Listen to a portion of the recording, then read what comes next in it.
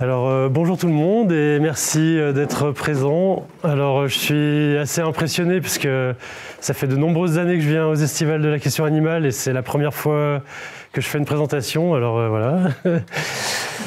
Alors aujourd'hui, je vais vous présenter l'association Stop Gavage Suisse, qui est, comme son nom l'indique, une association suisse basée à Lausanne, mais qui veut agir sur toute la Suisse. Euh, pour, euh, pour présenter l'association et le projet, on va se servir d'un fil conducteur qui va être euh, les SMART Goals. Je ne sais pas si cette notion vous parle. Si quelqu'un d'entre vous a déjà fait de la gestion de projet ou quelque chose comme ça, en fait, c'est une notion qui est assez connue, mais j'en parle plus avant. Alors, le sommaire, vous le lisez rapidement. Hop, on passe à la suivante. Euh, donc euh, voilà, je vais vous présenter l'association à travers un outil de gestion de projet qui s'appelle les Smart Goals.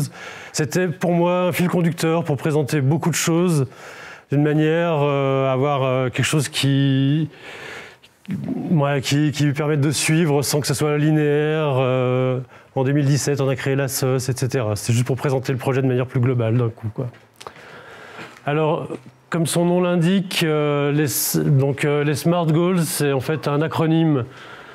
SMART veut dire euh, spécifique, mesurable, atteignable, pertinent et limité dans le temps. C'est un outil qui permet de définir des, objectifs qu'on peut atteindre lorsqu'on fait de la gestion de projet. Alors, l'idée. Donc euh, l'idée est née grâce à toutes ces personnes en particulier, mais aussi beaucoup d'autres et beaucoup d'autres, beaucoup de lectures. Alors là, euh, elle, c'est euh, Sharon Nunez, je ne sais pas si vous la connaissez, c'est la présidente de Animal Equality.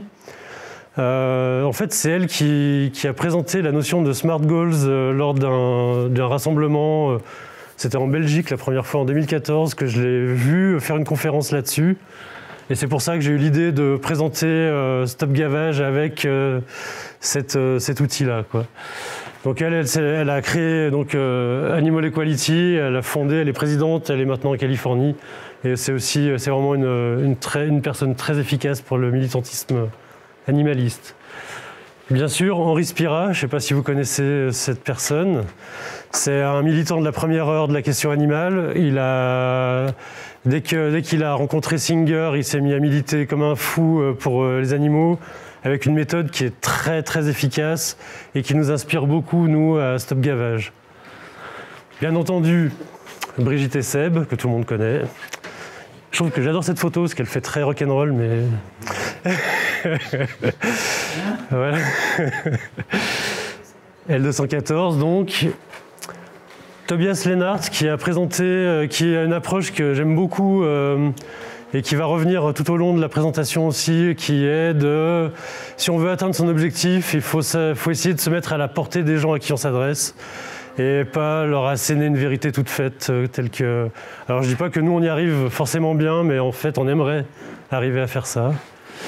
Et aussi Nick Coney, je ne sais pas si vous connaissez ce militant aussi de la cause animale, un Américain, qui euh, lui a fait de la psychologie sociale et a développé euh, toutes les notions de psychologie sociale euh, pour le militantisme animaliste et qui c'est aussi une personne qui nous inspire beaucoup pour les actions qu'on mène à Stop Gavage Suisse. bien entendu, il y a d'autres personnes, comme par exemple Yves Bonardel ou Estiva Reus ou David Olivier. Voilà. Alors, comment gravir une montagne? Comment arriver à atteindre euh, l'abolition de l'exploitation animale? En fait, on va pas y arriver d'un coup euh, comme ça, parce que tout à coup, on a dit mais merde, putain, on exploite les animaux, c'est trop de la merde, il faut qu'on arrête. Et maintenant, on change tout. Allez hop, on devient, on arrête d'exploiter les animaux. Ça, c'est gravir une montagne. En fait, Arriver là-haut, euh, on ne peut pas y aller d'un coup comme ça, d'un claquement de doigts. La seule façon d'y arriver, c'est d'y aller pas à pas. C'est d'y aller step by step. C'est par petites avancées. Quoi. On peut pas, on pourra jamais d'un coup arriver tout à coup au sommet. En tout cas, nous, on n'a pas l'hélicoptère. Donc, euh, on ne pense pas qu'on l'aura. Et euh, donc, on avance pas à pas et on va essayer de gagner sur un petit bout, et c'est pour ça qu'on a créé Stop Gavage Suisse qui s'intéresse à une petite question, mais qui semble atteignable. Et qui est, possible parce qu'il y a eu des steps avant nous, et qui va permettre d'aller dans les steps supérieurs après. Quoi. C'est ça le principe de base de la création de Stop Gavage Suisse. Alors, parlons des Smart Goals maintenant, pour revenir un peu dessus. Alors, en, management de projet, en gestion de projet, on définit cette notion qui existe depuis les années 80 à peu près, qui permet de se dire si je veux euh, mener une équipe à arriver quelque part, il faut que je donne un objectif qui soit atteignable, qui puisse, enfin, qu'on puisse en voir le bout. Quoi. Si je dis mon objectif c'est euh, la paix dans le monde, ben c'est bien quand on est une Miss France, mais c'est pas c'est pas un truc qui est atteignable à court terme et c'est même pas atteignable même à long terme. C'est-à-dire que c'est pas quelque chose de spécifique. La paix dans le monde, c'est pas. Euh, c'est pas mesurable, c'est à partir de quel moment que c'est la paix, que c'est pas la paix. Enfin, je donne cet exemple, mais c'est un peu pour vous. On pourrait prendre l'exemple de simplement abolir l'exploitation animale. C'est à partir de quel moment que euh, on a. Comment on peut mesurer qu'on a aboli ou pas l'exploitation animale? En fait, c'est difficile à dire. Quoi. Est-ce que c'est quand on a arrêté euh, l'élevage industriel ou est-ce que c'est quand on a, on a sauvé tous les animaux victimes de la prédation? Enfin, c'est difficile, c'est pas évident de le mesurer non plus. Est-ce que c'est atteignable? On n'est pas sûr, quoi. On aimerait bien, c'est le but, c'est le but qu'on aimerait, euh, avoir, mais en réalité, on ne sait pas si c'est atteignable, quoi. Est-ce que c'est pertinent? Alors bien sûr c'est pertinent, mais est-ce que c'est pertinent aujourd'hui, maintenant? Est-ce que c'est pertinent dans le contexte dans lequel on est aujourd'hui? C'est ça que ça veut dire pertinent dans ce cadre-là. Et est-ce que c'est limité dans le temps? C'est dans combien de temps qu'on va y arriver quoi? Est-ce que c'est, est-ce qu'on se donne pour, but de, on, bosse comme des tarés pour y arriver d'ici un an, d'ici deux ans, d'ici 20 ans, un siècle, dix mille ans quoi, je sais pas. Donc en fait, si on veut motiver une équipe, euh, des gens à arriver à un, objectif, il vaut mieux que cet objectif soit smart dans ce sens-là. Il vaut mieux qu'il soit spécifique, qu'on sache exactement la limite de cet objectif, qu'on puisse mesurer l'avancement de l'objectif, qu'on puisse mesurer si on l'a atteint ou pas, qu'on puisse voir s'il est atteignable simplement. Est-ce qu'il est atteignable? Est-ce que vouloir la paix dans le monde, c'est quelque chose d'atteignable Est-ce qu'il euh, est, est pertinent dans le contexte dans lequel on est? Et est-ce qu'il est limité dans le temps? Est-ce qu'on va y arriver dans un temps donné et définissable quoi?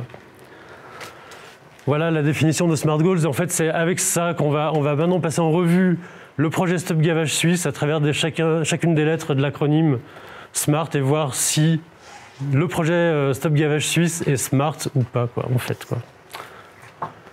Spécifique. Alors, dans, euh, les questionnements euh, SMART Goals, on doit, on, doit, on doit répondre à ces questions pour savoir si notre projet est spécifique. Qu'est-ce que je veux accomplir réellement? Pourquoi cet objectif est important, qui sont les acteurs, où ça se passe? Et quelles sont les ressources et les limites de l'objectif pour atteindre l'objectif? Pour Stop Gavage Suisse, la situation c'est ça. Depuis 40 ans maintenant, le gavage est interdit en Suisse grâce à la loi de protection animale. Il est interdit de nourrir un animal d'une manière qui, qui, lui fasse du mal en fait. Et euh, depuis 2008, on sait que c'est marqué explicitement dans une ordonnance d'application du, Conseil fédéral.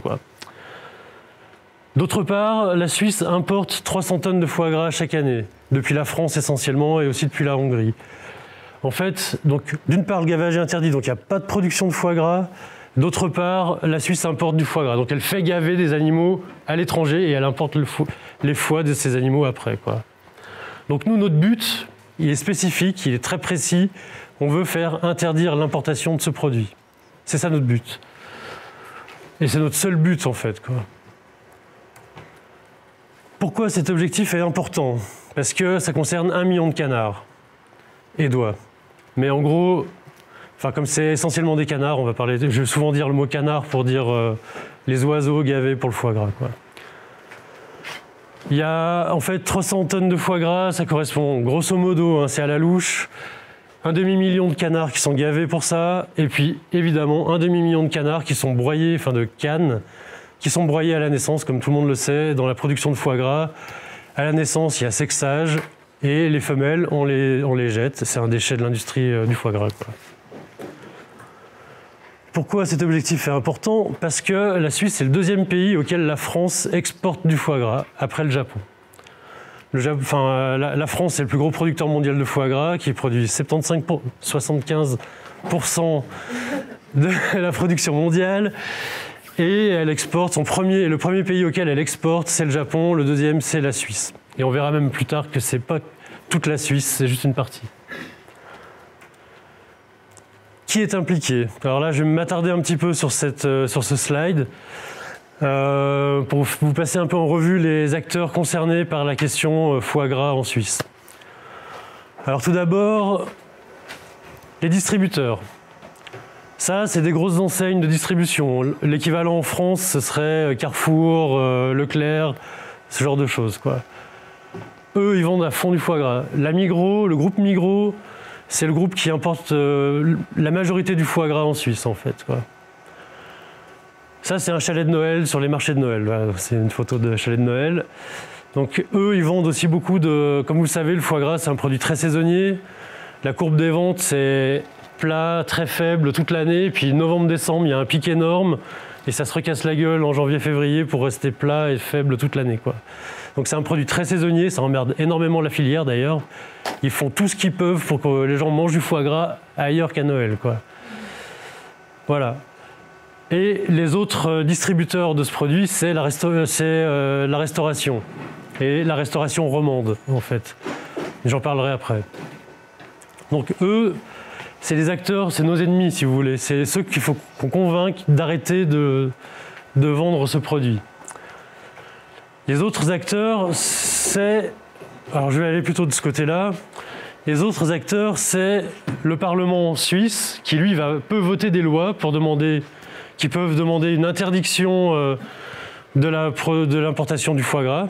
C'est eux, qui vont décider à la fin, on fait une loi qui dit on interdit d'importer le foie gras. Eux, c'est des acteurs qui nous intéressent le plus. L'administration, euh, donc ça c'est la coupole fédérale euh, suisse à Berne, ça, c'est l'administration. J'ai mis cette photo pour symboliser l'administration suisse. C'est eux qui vont faire appliquer cette loi. Ça, c'est les partis politiques qui sont présents au Parlement. Et là, il y a d'autres acteurs qui, eux, peuvent influencer les parlementaires. Alors, il y a l'Union des paysans suisses qui, étonnamment, sur cette question-là, serait plutôt favorable à notre cause. Alors, c'est jamais le cas pour le reste des de la lutte animaliste, où les paysans sont plutôt nos ennemis, mais en Suisse, comme la Suisse c'est un pays très cher, la production de, nourriture indigène, de viande et autres, ça coûte très cher. Et du coup, les paysans suisses, ils sont à fond pour le protectionnisme. Et tout ce qui va dans le sens du protectionnisme, ils sont pour, ils le soutiennent. Et si nous, on dit on veut stopper l'importation d'un produit étranger que vous, ne pouvez pas faire sur place, eh ben eux, ça les intéresse. Et même si officiellement, ils vont jamais le dire, en fait, officieusement, ils vont voter pour. Quoi. Et on l'a vu, on l'a vérifié, j'en parlerai un peu plus tard. Évidemment, les consommateurs, ils ont leur mot à dire, c'est les acteurs aussi de cette question-là. Si les consommateurs arrêtent d'acheter du foie gras, ben, il n'y a plus d'importation, enfin, donc, les distributeurs vont arrêter d'en distribuer. Mais on sait que ça ne marche pas comme ça, et on en parlera aussi. Et évidemment, les associations de protection animale, enfin les animalistes. Donc j'ai mis comme exemple PEA et SwissVeg, mais Évidemment, on pourrait mettre plein d'autres associations animalistes et de défense des droits des animaux et antispécistes et tout ce qu'on veut. Quoi. Donc ça, c'est les acteurs principaux qui sont impliqués dans cette question. Évidemment, stop gavage, parce que nous, on va essayer d'avancer là-dessus. Euh, si, je vais trop vite, si euh, c'est flou ce que je raconte, il faut m'arrêter. S'il y a des choses que vous ne comprenez pas, il faut me dire. Les autres acteurs impliqués, L'OMC, le libre-échange. La Suisse, c'est un pays capitaliste. Il y a peu de choses qui peuvent se faire en Suisse qui vont à l'encontre euh, des règles de l'OMC. En tout cas, si on propose un projet de loi qui va à l'encontre des règles de l'OMC, ça risque d'être balayé euh, d'un revers de manche par tous les, toute la classe politique. sauf peut-être l'extrême gauche, mais, et peut-être l'extrême droite aussi, ça, dépend. Donc l'OMC, c'est un des acteurs phares, et c'est aussi un acteur phare parce que la France et la, Hongrie, qui exportent en Suisse, pourraient porter plainte contre la Suisse auprès de l'OMC pour faire casser une loi qui, interdirait l'importation. Les autres acteurs, c'est l'Europe, dans une moindre mesure parce que la Suisse ne fait pas partie de l'Europe, de l'Union européenne. Par contre, la Suisse fait partie du Conseil de l'Europe. Et euh, je ne sais pas si vous faites la différence entre l'Union européenne et le Conseil de l'Europe. Ok. Alors l'Union européenne, c'est les, je ne sais pas combien de pays maintenant, 17 pays, 27 pays, 15, 12, je ne sais plus combien. En tout cas, plein de pays, mais moins l'Angleterre. en tout cas, la Suisse ne fait pas partie. Et par contre, le Conseil de l'Europe, c'est 47 pays plus l'Union européenne, dont la Suisse, la Turquie, enfin plein d'autres pays qui, euh, qui ont un mot à dire, enfin qui, qui, se réunissent et qui émettent des réglementations, enfin des recommandations, et ces recommandations sont contraignantes pour les pays qui font partie du Conseil de l'Europe. La Suisse fait partie du Conseil de l'Europe, et le Conseil de l'Europe a émis des recommandations en 99 concernant le foie gras. Euh, ensuite, un rapport euh, de l'EFSA, donc euh, c'est disons une commission scientifique de l'Union européenne. Salut. Euh, et les recommandations euh, émises par le Conseil de l'Europe sont contraignantes pour les pays. Elles sont obligées de l'appliquer, sinon elles pourraient être euh, condamnées. Quoi. Les, recommandations du Conseil de l'Europe sur le foie gras, c'était qu'il il faut absolument que les pays producteurs de foie gras cherchent à trouver une alternative au gavage. C'est hyper important parce qu'en fait, suite à cette étude scientifique, il a été révélé que bah, le gavage faisait souffrir les animaux. Nous, on le sait, tout le monde le sait, mais il fallait une preuve scientifique on l'a, et elle est officielle. Quoi. Il y a même eu un rapport minoritaire de cette commission qui a dit que la seule façon de ne pas faire souffrir les animaux dans la production de foie gras, c'était d'arrêter la production de foie gras. C'est-à-dire que vraiment, c'est hyper fort en fait. Et c'est grâce à, cette, euh, à, ce travail-là au, Conseil de l'Europe que la France a été obligée ces dernières années d'augmenter la taille des cages euh, pour les, les animaux gavés. Quoi alors, ça paraît dérisoire, si vous voulez. Effectivement, pour les canards, ça change pas grand-chose. Mais en fait, ça, pour l'industrie, pour la filière foie gras, ça a coûté très cher. Et ça, ça a été vraiment, si on veut, c'est un jeu de, lobbying quoi, euh, de la France auprès de l'Europe, auprès du Conseil de l'Europe. Mais la France était obligée de répondre à, cette à cette euh, euh, comment J'ai perdu le mot. À cette, c'est pas une recommandation, c'était oui, une recommandation. Ouais, bon, je sais plus. Du Conseil de l'Europe et euh, du coup a été obligé d'aller de répondre à, une des, un des points qui était de, de, supprimer les cages individuelles. Donc il y avait supprimer les cages individuelles et, et trouver une alternative au gavage. Quoi. Et en tout cas, ils ont supprimé les cages individuelles, ils sont passés aux cages collectives qu'on connaît ou que peut-être que vous connaissez. Vous avez sûrement vu des images de L214 autour de ça. Quoi. Oui, bien sûr. Tu dis que les recommandations sont contraignantes. Est-ce qu'il y a, existe des contrôles et est-ce qu'il existe des sanctions? Parce que moi, les cages individuelles, en France, il y en a un. Alors, je pense qu'il y en a encore, mais en tout cas, ces dernières années, enfin, il y avait. Euh, disons 100%, enfin, ce sont pas vrai, mais 100% des animaux qui étaient gavés dans des cages individuelles. Aujourd'hui, c'est peut-être 80% qui sont dans des cages collectives, quoi. Alors, sûrement que les cages individuelles, ils les ont envoyées en Chine ou je ne sais où. Ils les ont pas détruites, à mon avis, mais. Euh, en tout cas, ils, ont eu un délai et le délai était expiré euh, il y a quelques années et du coup, euh, ils se sont mis à jour très, vraiment de manière assez complète sur toute la France. Il y a sûrement encore des cas où, il y a encore des cages individuelles, mais d'une manière générale et assez, dans l'ensemble, ils ont, ils ont respecté cette recommandation. Et euh, enfin voilà. Mais, euh, évidemment, c'est une sorte de compromis qu'ils ont trouvé pour pas se faire taper sur les doigts. Quoi. Et pour dire, mais oui, on respecte les recommandations du Conseil de l'Europe, euh, mais non, on peut pas, on n'a pas encore trouvé d'alternative au gavage, mais on a quand même fait des cages collectives. Quoi. Voilà. c'est voilà, pour dire que c'est aussi ces acteurs-là qui sont impliqués. Alors, où est situé le projet? En Suisse. La Suisse, ça ressemble à ça. Alors vous êtes français la plupart, donc vous savez pas à quoi ça ressemble la Suisse. Euh, moi, je savais pas non plus avant d'y être. Donc, euh, je vous ai sorti une Suisse euh, avec les régions linguistiques. Et ça, quand on est en France aussi, on le sait pas. Mais la Suisse, c'est un pays qui parle quatre langues différentes. Il y a une partie de la Suisse, la Suisse romande, là en vert, qui parle le français. La Suisse alémanique, donc en orange, là, qui parle le suisse allemand, donc l'allemand, on va dire. donc c'est plusieurs dialectes, euh, mais qui parlent tous aussi l'allemand, le, bon allemand, comme on dit. qui, est, aussi une langue officielle. Tu, m'arrêtes si je dis des conneries, euh, c'est Fabien. Il y a trois langues officielles, c'est justement français, allemand et romanche. Et italien. Et italien. Le romanche, c'est pas partie des. D'accord, ok. Alors il y a l'italien, donc la partie, euh, disons, italienne de la Suisse, ce qu'on appelle le Tessin aussi, enfin, qui est le canton du Tessin.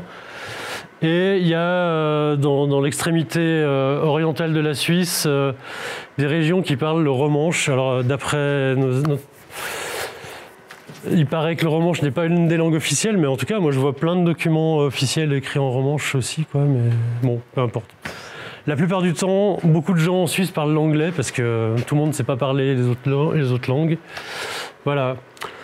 Euh, aujourd'hui, la consommation de foie gras, elle se fait essentiellement en Suisse romande. Les Suisses allemands n'en consomment pratiquement pas. Ils connaissent pas, disons quoi. C'est pas dans leur tradition, c'est pas dans leur culture. Ils voient pas l'intérêt. Ils savent que c'est cruel. Ça les intéresse pas, quoi. En Suisse italienne, au Tessin, ils en consomment un petit peu, mais c'est pas autant qu'ici, quoi. Donc euh, nous, en fait, notre, notre combat, il se situe vraiment ici. Alors, les ressources et les limites. Alors là, c'est... Euh, ce qu'on veut, en fait, ce que j'ai dit dès le départ, c'est ce qu'on veut, c'est modifier la loi suisse pour euh, demander l'interdiction d'importation de, de foie gras. En Suisse, il y a deux façons de modifier la loi soit par la voie normale, disons, qui est, de, qui est un parlementaire qui amène une proposition de loi au Parlement et qui fasse voter le Parlement et que le Parlement dise oui, on accepte et on a une nouvelle loi. Donc euh, notre job, ce serait, si on suit cette voie, d'aller convaincre un ou des parlementaires d'amener cet objet.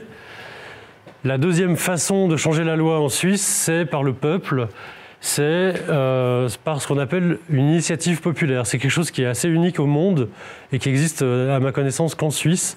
En tout cas, ça n'existe pas en France. Et c'est un mécanisme qui permet, si euh, un groupe de Suisses fait, récolte plus de 100 000 signatures en un temps limité, en 18 mois, sur un certain objet, il peut modifier, enfin, il peut contraindre le, gouvernement à provoquer une élection pour pour une modification de la constitution suisse. Donc ça, c'est une autre façon, disons, euh, populaire de faire une modification de la loi suisse. On verra que ces deux, euh, ces deux, ces deux façons ont été tentées, et en tout cas sont tentées régulièrement. Les ressources pour arriver à ça, ben, à faire ça ou ça d'ailleurs, c'est un peu euh, les mêmes ressources nécessaires. Donc c'est d'abord avoir une expertise sur la question du foie gras. Donc ça, c'est la partie facile, disons. On a L214 qui a mené plein d'enquêtes euh, en France, qui est, je vous le rappelle, le premier pays mondial de production de foie gras. On connaît donc très bien la filière française. Nous, de notre côté, Stop Gavage Suisse, on a, on a étudié la question sous l'angle suisse. C'est pour ça qu'on sait que c'est qu'en Romandie que les gens mangent du foie gras, etc et euh, qu'on a aussi étudié un peu plus les mécanismes des processus législatifs en Suisse. Donc ça, l'expertise sur la question, on l'a aujourd'hui.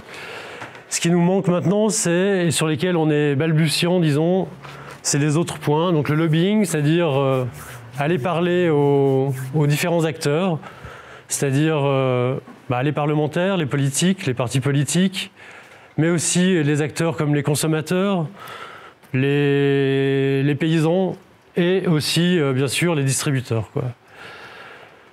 La communication, ben, en fait, pour arriver à pourquoi le foie gras est consommé en Suisse romande, C'est parce que aujourd'hui, les romans, bah, c'est un pays, c'est la partie francophone de la Suisse. Ils sont très tournés vers la France. Ils regardent la télé française. Ils bouffent des pubs françaises. Ils bouffent de la pub française de la filière foie gras. Et pour eux, le foie gras, c'est un produit traditionnel suisse. en fait, dans leur tête, dans leur imaginaire, ils, considèrent le foie gras comme un produit traditionnel, alors que ça n'a rien, rien de suisse. Il n'y a jamais eu de production en Suisse. C'est euh, juste qu'ils sont gavés de ça, si on peut dire.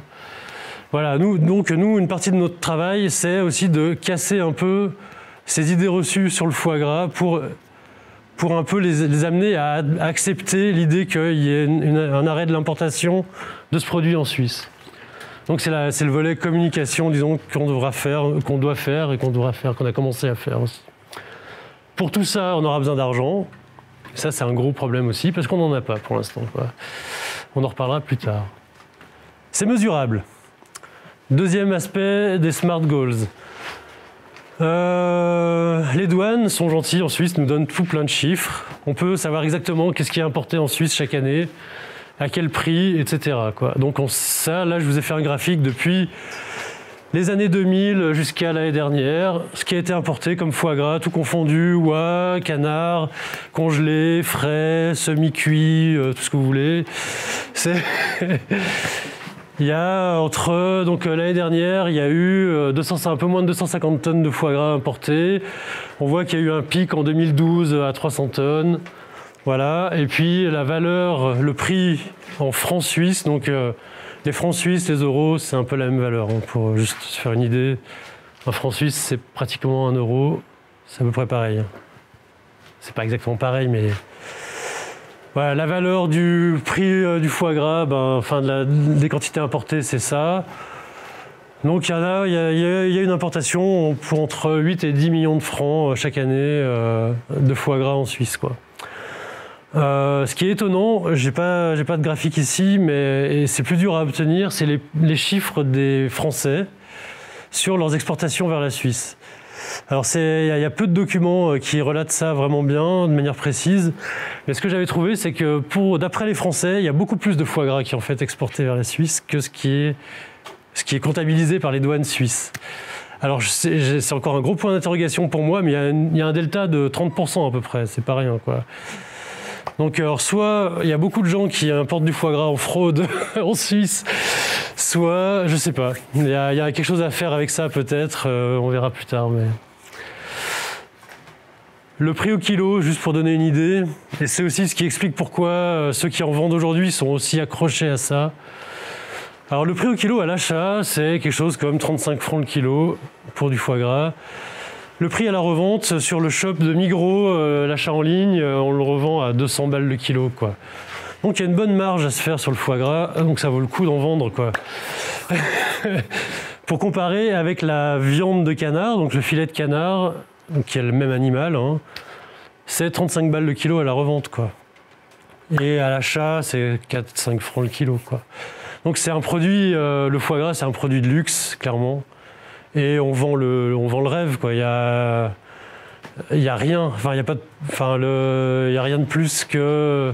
Enfin, quand, quand, on achète un truc 40 balles et qu'on le revend 200 balles, euh, voilà quoi.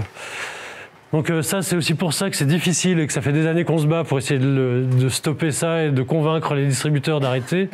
Mais en fait, ils font une telle marge avec ça qu'ils n'ont pas envie. Quoi. Qui consomme du foie gras? Alors j'en ai un peu parlé. Il n'y a que 20% de la Suisse qui consomme du foie gras.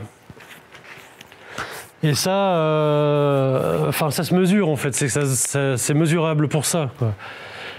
La 20% de la Suisse, c'est la Suisse romande. Et euh, en fait, euh, en fait, c'est aussi pour ça qu'on s'est mis sur cette question-là, parce que si à un moment donné il y avait une votation sur la question à l'échelle de toute la Suisse, ben on est sûr de gagner en fait. 80% des gens s'en foutent du foie gras quoi. Il suffit de leur dire c'est cruel et ils diront bah ok on supprime ce truc quoi. Mais c'est pas si simple quoi. Il faudrait, faut arriver, il faudrait arriver à amener euh, une votation à l'échelle de toute la Suisse sur cette question-là. Et le jour où on arrive à faire ça, on est quasi sûr de gagner sur cette question quoi. Donc euh, voilà, voilà pourquoi on s'est aussi attelé à cette, à cette question. Alors qui consomme du foie gras ben, Une autre façon de mesurer, c'est de faire des sondages. Et ça, on va avoir besoin d'en faire. Alors là, j'ai sorti quelques exemples de sondages. Ça, c'est un sondage Brigitte Bardot en France. Ça, c'est deux sondages euh, L214 en France. Ça, c'est un sondage que j'ai trouvé juste avant de faire la, présentation. Euh, donc, c'est dans le Jura, deux radios euh, jurassiennes qui ont, donc Jura suisse, hein, qui ont posé la question. Alors, alors comment on appelle ça, spectateurs, enfin auditeurs, voilà et euh, sur, le, sur leur consommation sur le foie gras, sur l'interdiction d'importation du foie gras. Et euh, donc il me semble que ça a été, j'avais pas trouvé de date précise. Euh, apparemment, d'après moi, ça date de 2017. Et en fait, on voit que la moitié des gens pensent que le foie gras fait partie des traditions culinaires suisses, en fait. Quoi. Et c'est là que c'est choquant et que je me dis que nous, on a un gros job de communication à faire maintenant là-dessus, sur cette question-là, pour dire aux gens, mais non, vous vous trompez, c'est. Pardon? Oui, mais c'est pas... C'est pas nécessaire. Euh, je sais que Firp euh, pour avoir discuté avec eux il y a quelques temps, ont fait aussi un sondage en Suisse sur la consommation de foie gras. Euh, alors c'est quatre pattes en France, je ne sais pas si vous connaissez. C'est une, association internationale qui est basée, qui est née d'abord en Autriche, et qui a essaimé un peu en Allemagne, en France, en Suisse. Euh, voilà. Euh, et euh, j'attends, je, suis en contact avec eux pour essayer de récupérer leurs résultats sur la consommation actuelle de foie gras en Suisse. Atteignable. Est-ce que c'est atteignable comme objectif de faire interdire l'importation de foie gras en Suisse? Alors bien sûr que nous on répond oui. alors dans les smart goals, quand on veut vérifier si notre objectif est atteignable, on doit répondre à ces questions-là. Comment puis-je atteindre cet objectif et est-il réaliste en fonction des autres contraintes? Alors, euh, comment puis-je atteindre cet objectif? Alors, j'en ai déjà parlé, c'est par les deux voies possibles qui sont, de toute façon, c'est une modification de la loi, et soit c'est par les parlementaires, soit c'est par euh, le peuple. Alors, je vais m'attarder un peu sur ce slide et vous expliquer un peu ces deux choses qui sont la motion Abicher et euh, l'initiative populaire Stop à l'importation de la cruauté. Euh, Mathias Abicher, c'est un parlementaire euh, PS bernois qui, en 2015, a déposé une motion, c'est-à-dire un objet parlementaire au Parlement suisse, demandant l'interdiction d'importation de produits d'origine animale qui étaient des produits issus de la cruauté animale. Formulé en allemand, c'est hyper court. Une fois que tu veux le traduire en français, ça devient plus compliqué. Mais en gros, euh, ça visait essentiellement foie gras, fourrure, œufs de batterie et tout un tas d'autres produits, euh, cuisses de grenouille, euh, enfin des choses qui sont pas possibles de faire en Suisse, mais qu'on importe quand même massivement. sa motion a été acceptée au Conseil national, c'est-à-dire l'équivalent de l'Assemblée nationale en France, en juin 2017. Et donc nous, comme on venait juste de, créer l'association, ben, on a soutenu à fond la motion Abicher et puis on a vraiment tout fait pour, euh, pour qu'elle passe euh, ensuite au Conseil des États. Quoi. Donc on a vraiment euh, mis toute notre énergie là-dessus. en décembre, donc, entre le mois de juin où le Conseil national l'avait accepté et le mois de décembre où le Conseil des États, donc l'équivalent du Sénat, devait le voter. Euh, donc pendant tout ce temps-là, nous on a fait du, enfin, on a bossé pour, euh, pousser pour la, motion Abicher. Et de l'autre côté, nos opposants, eux, ont bossé à fond, ont fait un grave lobbying pour euh, casser la motion Abicher. Ils ont gagné, c'est-à-dire que la motion Abicher a été balayée au Conseil des États en décembre 2017 entre autres aussi parce que les romans, y compris ceux du même parti que Mathias Abicher, donc le PS roman, a dit ah non non non on touche pas au foie gras, c'est tradition culinaire suisse quoi. Et c'est là on est tombé des nues. En fait on a vraiment appris des choses à ce moment-là. On s'est rendu compte que euh, qu'en fait il y avait vraiment enfin il y avait vraiment même si on le savait, ça a vraiment révélé quelque chose d'assez profond entre les romans et les alémaniques. Euh, donc euh, vraiment nous aujourd'hui on va concentrer nos efforts sur la Romandie et puis et puis vraiment essayer de casser cette idée que le foie gras c'est quelque chose de traditionnel roman quoi. Suite à l'échec de la motion Abicher, un groupe d'associations et de parlementaires ont décidé de lancer une initiative populaire, donc c'est-à-dire d'obtenir une modification de la constitution suisse en réunissant 100 000 signatures auprès du peuple suisse en 18 mois. Mais malheureusement, en fait, en ce moment, enfin, euh, au départ, c'était très beau, tout le monde était content, tout le monde voulait y aller et tout.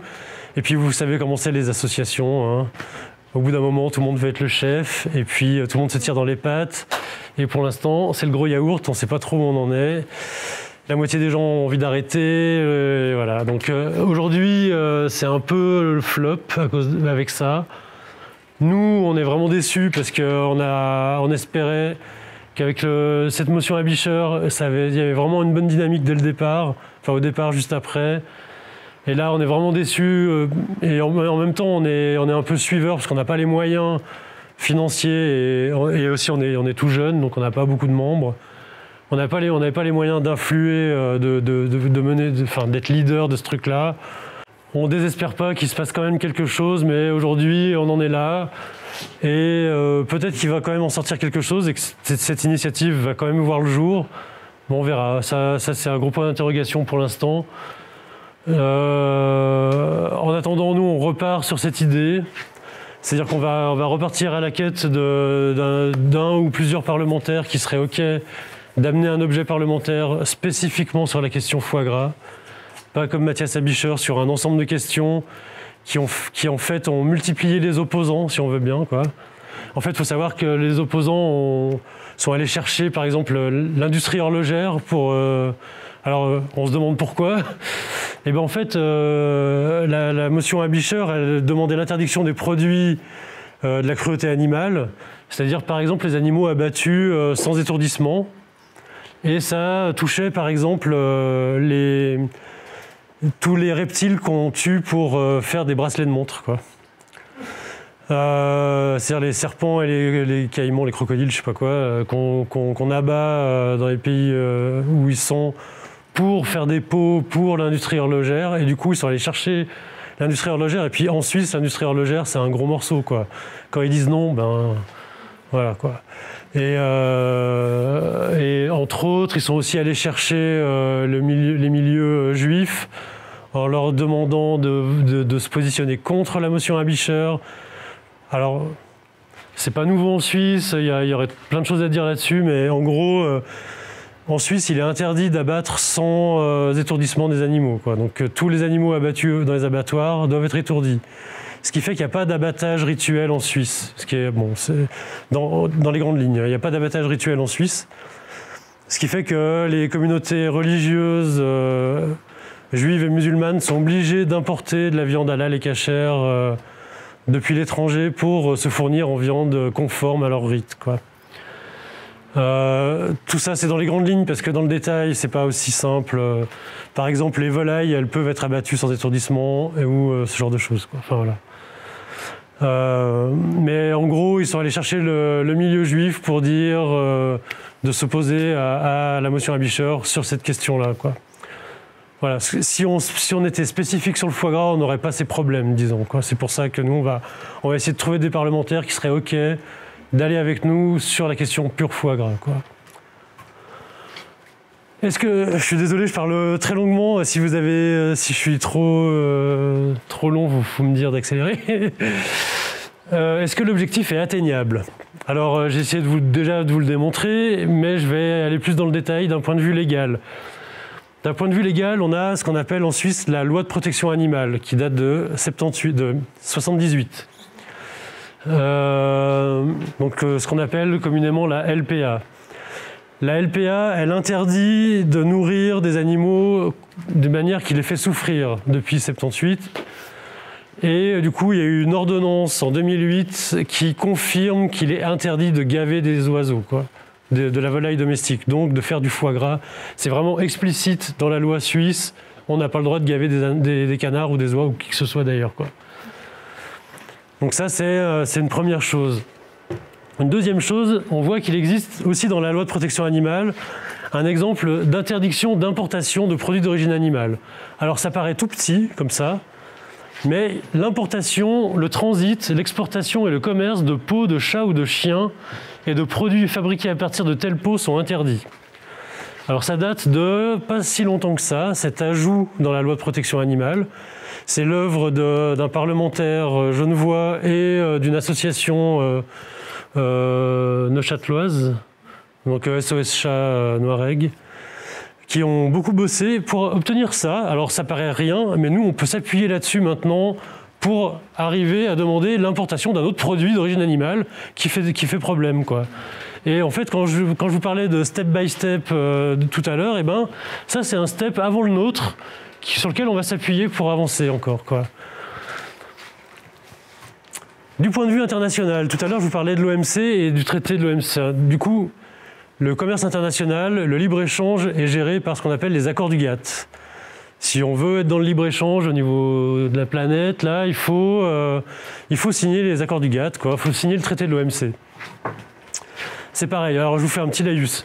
Les accords du GATT ont été créés en 1947 entre les pays occidentaux pour, le, pour euh, fonder le libre-échange euh, entre les pays occidentaux. Lors de la création de l'OMC en 1994, les accords du GATT ont été repris intégralement dans le traité de l'OMC ce qui fait qu'on parle aujourd'hui des accords du GATT de 1994. Et euh, donc, moi, je parlerai de manière assez, euh, assez indissociée, euh, soit des accords du GATT, soit du traité de l'OMC, soit des accords du GATT-OMC. Pour moi, c'est la même chose. Quoi. En fait, c'est la même chose. Dans les accords du GATT, il existe un article 20 qui s'appelle l'exception générale. Cet article nous permet de, tout en respectant les accords, de demander l'interdiction d'importation d'un produit. il y a plusieurs euh, alinéas à cet article, mais le seul qui nous intéresse, c'est le premier. C'est lorsque la protection de la moralité publique est mise à mal, on peut interdire l'importation d'un produit. Par exemple, on peut interdire l'importation de drogue parce que ça va à l'encontre de la moralité publique du pays. Ou on peut interdire l'importation d'organes ou je ne sais pas quoi, d'organes humains. Hein parce que là, pour le coup, c'est des organes d'animaux, mais... mais voilà, enfin, par exemple, euh, si ça heurte la moralité publique, on peut faire valoir cet article et on peut demander l'interdiction d'importation. Pareil, il y a eu un précédent. Donc euh, cet article n'a jamais été utilisé euh, de manière victorieuse, disons, jusqu'en 2013. En 2013, l'Union européenne a réussi à gagner contre le Canada devant l'OMC en, euh, en, faisant valoir cet article euh, à propos des produits issus du phoque. Comme vous le savez sûrement, l'Union européenne a interdit l'importation des produits issus du phoque, sauf pour les, peuplades traditionnelles, les Inuits. Euh. mais en gros, il est interdit de. on ne pourra plus trouver en Europe de, peau de phoque, de fourrure de phoque, grâce à, cet acquis depuis 2013. Le Canada a bien sûr porté plainte, qui est l'un des principaux pourvoyeur de ce produit-là a porté plainte contre l'Union européenne devant l'OMC et en fait ils ont perdu. Et ça c'est un précédent euh, juridique au niveau international sur lequel on peut s'appuyer aussi maintenant. C'est-à-dire qu'aujourd'hui, un produit d'origine animale peut être interdit pour des raisons de moralité publique et euh, ça a déjà, ça a déjà eu lieu et on peut le faire valoir. Quoi. Donc ça, c'est important de le savoir. Et, euh, nous, on va le faire valoir euh, en demandant l'interdiction d'importation de, foie gras. Parce que la France ne va pas manquer de porter plainte euh, devant l'OMC contre la Suisse, si on y arrivait. Donc, du coup, on sait qu'on pourrait gagner. Et, pour ça, il suffit de montrer que ça va à l'encontre de la moralité publique suisse. Il suffit de. C'est pas facile forcément à montrer, mais on a quand même quelques éléments comme ça fait 40 ans qu'on a interdit le gavage, et que en fait c'est pas pour des raisons euh, économiques ou sanitaires ou quoi, c'est vraiment pour des raisons éthiques, quoi. C'est vraiment pour des raisons de cruauté animale, quoi, que, ça a été interdit. Donc en fait on peut le faire valoir et du coup ça, ça pèse dans la balance. L'autre, euh, l'autre façon de le démontrer, c'est de faire des sondages et de demander au peuple est-ce que vous pensez que le gavage c'est quelque chose de de cruel? Oui. Est-ce que vous pensez que l'importation devrait être interdite parce que euh, on ne veut pas importer des produits euh, cruels Ben oui. En fait, on pourrait le montrer par des sondages et probablement qu'on va, dès qu'on a les moyens, se payer des sondages pour montrer ça dans le but de pouvoir le, faire valoir le, jour J. Voilà. Est-ce que c'est atteignable d'un point de vue financier? Alors là, c'est le point d'achoppement pour Stop Gavage. Alors, passer par l'initiative populaire, euh, par l'initiative parlementaire, donc convaincre un parlementaire d'amener un objet parlementaire et de le défendre euh, à l'Assemblée, ça coûte rien en soi. C'est-à-dire qu'il suffit de prendre son téléphone, euh, de l'appeler, lui dire est-ce que tu serais d'accord Et lui, il fait son boulot et il n'y a pas à payer pour ça. Bon, entre guillemets, parce que il faut quand même lui fournir des rapports pour qu'il étaye son argumentaire, etc il faut lui démontrer que c'est une bonne chose à faire pour lui aussi euh, dans sa carrière politique. Mais voilà, euh, ça ne coûte pas plus d'argent que ça. Par contre, l'initiative populaire, paradoxalement, ça coûte beaucoup d'argent. En fait, on estime que pour réussir une initiative populaire, il faut euh, au minimum 200 000 balles, dépenser 200 000 balles. C'est le minimum requis pour être sûr d'arriver au moins à la votation. C'est-à-dire euh, d'arriver au moment où le, gouvernement va dire OK, on va poser la question au peuple est-ce que vous êtes pour ou contre cette initiative? Et quand on en est là, il faut encore débourser 2-3 millions pour la campagne de pub euh, pour, avoir une chance de gagner. Donc c'est euh, la démocratie, oui, mais il faut être riche quand même. Donc c'est pour ça que ça, on ne peut pas le faire euh, tout seul. Nous, on n'a pas du tout les moyens, bon, on n'est pas très nombreux et on est jeunes, et, puis on n'est pas millionnaires malheureusement, donc on ne peut pas se payer ça euh, par nous-mêmes. Donc euh, c'est pour ça que quand il y a eu ce lancement de, l'initiative populaire que je vous ai montré avant, celle-ci là, Stop à l'importation de la cruauté, il y avait dans le comité d'initiative une vingtaine de grosses associations qui, ont un fonds de roulement de plusieurs millions. C'est-à-dire que pas c'est pas c'est pas c'est pas rien. C'est-à-dire qu'il y avait les moyens financiers, les moyens humains aussi d'aller récolter les signatures. Et malheureusement, le fait d'être trop nombreux, ben, ça a fait que des luttes de pouvoir internes ont fait merder les choses. Pour l'instant, on va voir la suite, quoi. Euh, et puis voilà, c'est ce pour ça que j'ai écrit ça. C'est le risque, c'est la perte de contrôle. C'est que nous, on avait zéro contrôle sur ce qui se faisait avec cette initiative populaire. En tout cas, nous, aujourd'hui, on n'a pas les moyens de se lancer là-dedans tout seul. Quoi. Euh, voilà, j'avance. Alors, pour la communication et le reste des aspects... Euh, alors bien sûr, nous, la communication, on veut dégueulasser l'image du produit. Quoi. On veut que, que ça arrête d'être perçu tel que la filière foie gras la vend euh, aux Français et aux Romans. Quoi. Donc euh, nous, on a commencé par... Euh, l'année dernière, on s'est payé... Euh, alors, premièrement, on est tout jeune, on sait qu'il y a un pool de militants en Suisse romande qui existe, qui est ce qu'il est. Il y a quelques centaines de militants, peut-être milliers de militants animalistes en Suisse romande et peut-être en Suisse.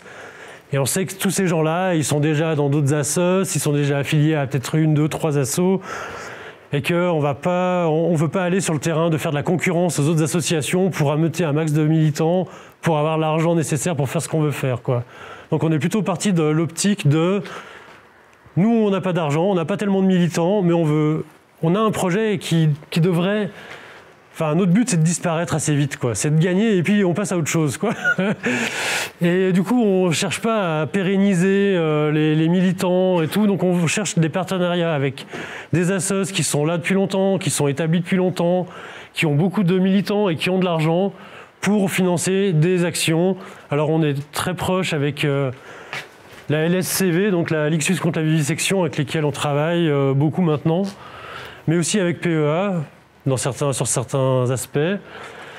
Et euh, évidemment avec L214 à qui on pompe éhontément toutes leurs images, euh, tout leur savoir sur le foie gras, mais avec leur accord bien sûr. Et euh, à qui on demande des fois des petits coups de pouce, même financiers. on s'est payé donc aussi sur une chose précise, on fait du fundraising.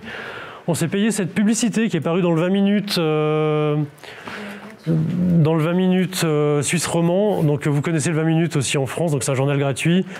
En Suisse romande, c'est un demi-million de personnes qui le lisent euh, quotidiennement. C'est-à-dire qu'une pub là-dedans, c'est 500 euh, 000 personnes. Si on fait une action de rue, ben, si on touche 2000 personnes, c'est le grand max. Enfin, on le sait, voilà. Du coup, on était parti là-dessus. On s'est payé cette publicité, on a fait, donc ça coûte super cher un encart dans le 20 minutes. Je ne sais pas si vous avez déjà cherché à vous payer ça, mais ça coûte les yeux de la tête. Et du coup, on a dû faire un crowdfunding pour ça, qui a fonctionné. On s'est payé cet encart. Et là, l'objectif du. Notre premier objectif, c'était de dire aux gens, de rappeler aux gens que le foie gras, le gavage était interdit en Suisse. C'était vraiment notre premier message, parce que la plupart des gens qui en mangent ne le savent même pas. Ils voient du foie gras dans les magasins, ils ne se posent même pas la question de où ça vient. Il y a du foie gras dans leur magasin en Suisse, donc voilà.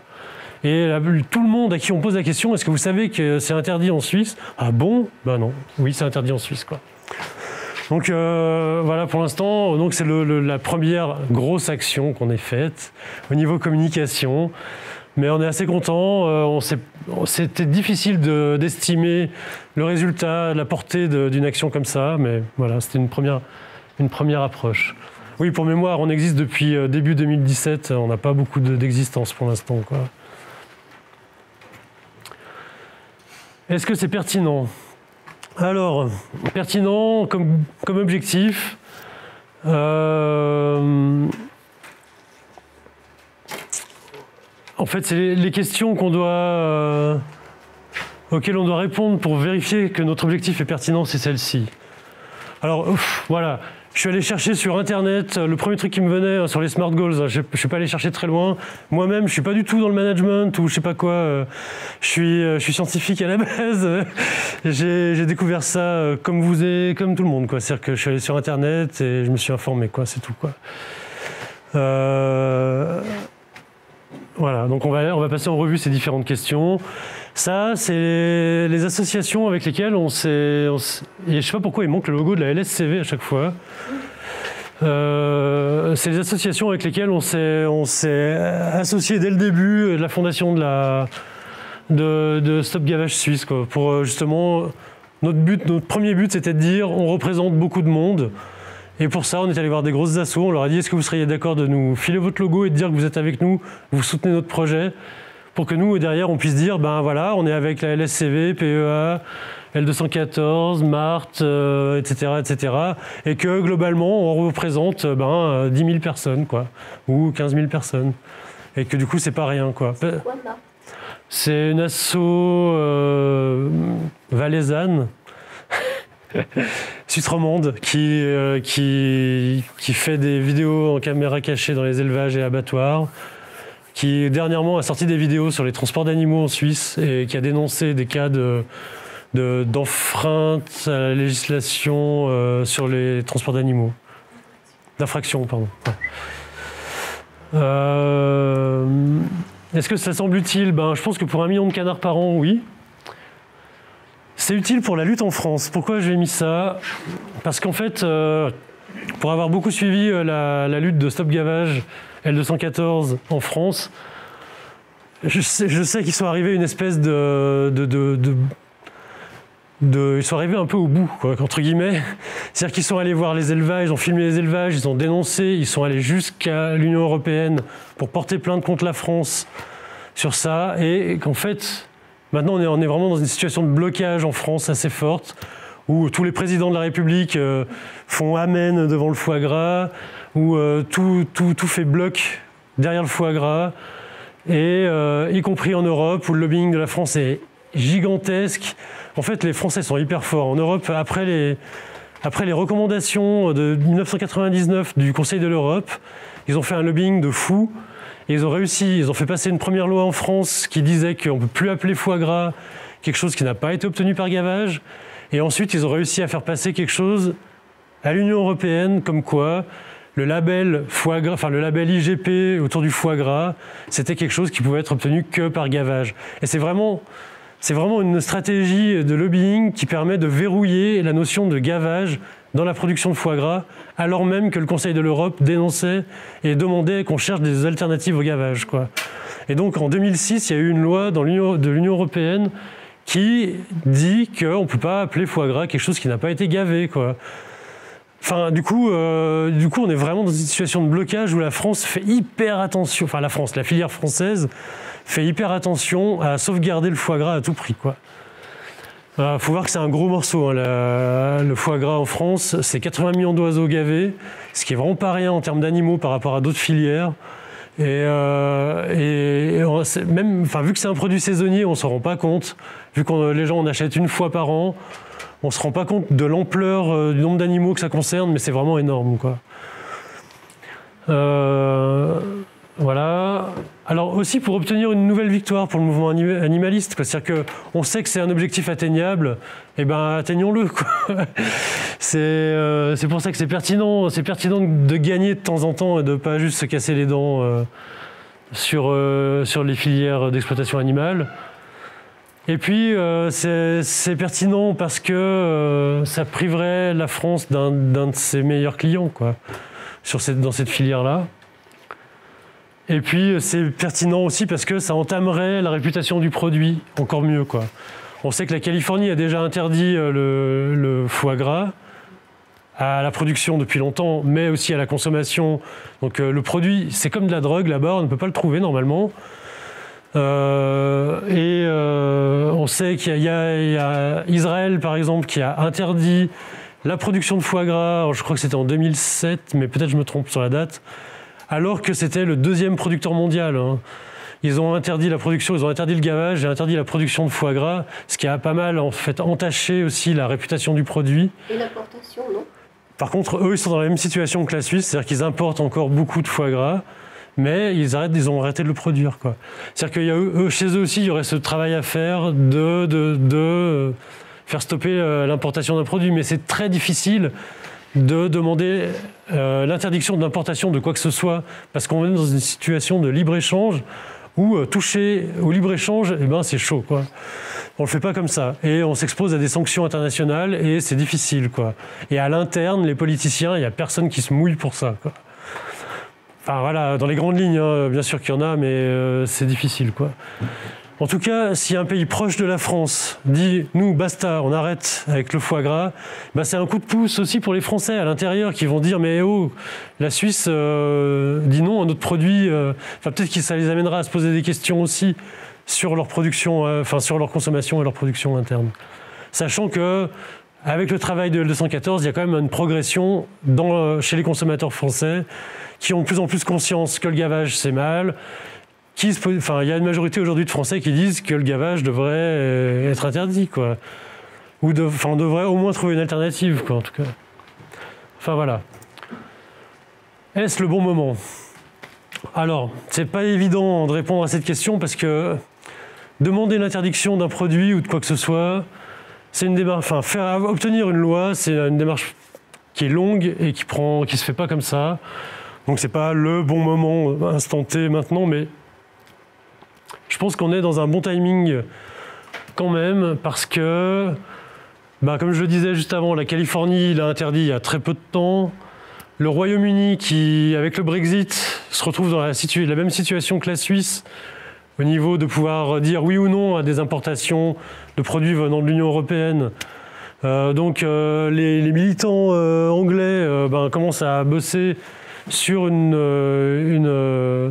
sur le même travail, sur la même chose que nous, c'est-à-dire à essayer de voir s'ils peuvent obtenir l'interdiction d'importation du foie gras en Angleterre. Euh, voilà, je reviens sur euh, le Canada euh, qui a perdu contre l'Union européenne sur les produits du phoque, donc en 2013. Donc on est après toutes ces victoires-là. Et du coup, on pense que c'est vraiment une. on est dans un moment assez favorable pour gagner là-dessus.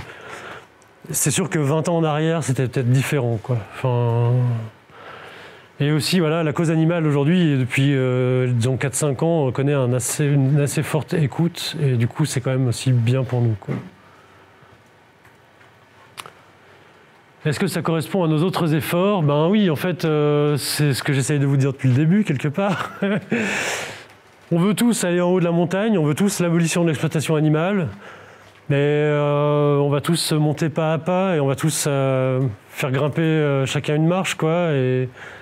Et euh,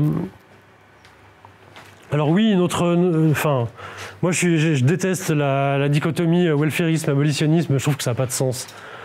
Parce qu'on veut tous l'abolir. Enfin, bon, peut-être des gens ne la veulent pas, mais en tout cas, tous ceux que je connais, que je fréquente dans le milieu animaliste, on veut tous l'abolition de l'exploitation animale. On réfléchit, on réfléchit tous à ça. Et on fait tous des choses qui Enfin, on ne peut pas y arriver d'un coup, quoi. Vraiment, et le penser ça, c'est juste vouloir dire on est révolutionnaire, on renverse la société, on instaure une dictature animaliste, et puis euh, là, c'est l'hélicoptère qui amène en haut de la montagne. Mais moi, j'y crois pas, et je pense qu'on n'a pas les moyens. Même les gens qui disent ça n'ont pas du tout les moyens de le faire.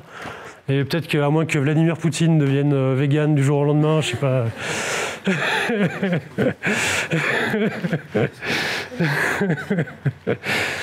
enfin voilà. Euh, ça a du sens aussi, parce que pour la en Suisse, il faut voir qu'il y a. La Suisse, c'est le pays du lait. Hein. Euh, la Suisse, en Suisse, il y a un million et demi de bovins en permanence qui sont élevés essentiellement pour le lait. En fait, quand on dit bovin, c'est 700 000 veaux, 700 000 vaches laitières. Hein. Il y a très peu de vaches à viande en fait en Suisse. Euh, et, quand on voit que le, gavage, la consommation de foie gras, c'est finalement un million de canards, on se dit que c'est pertinent de s'attaquer aussi à cette question-là. En tout cas, à l'échelle de la Suisse, ça a du sens. Quoi.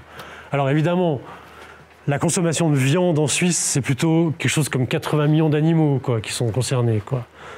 Mais, euh, mais euh, par rapport à ce qui est sur place, enfin voilà, c'est pas un chiffre négligeable non plus. Alors c'est une marche, c'est pas une toute petite marche non plus. Quoi.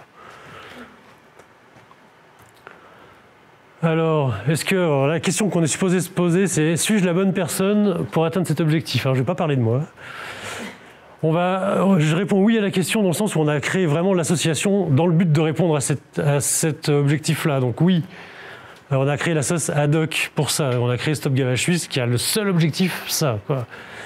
Et comme je vous le disais avant, nous on veut collaborer, on va, on va pas capter des militants aux autres associations pour essayer de nous donner les moyens de réussir on va juste s'associer avec, celles qui existent déjà pour mutualiser les moyens et arriver à notre objectif.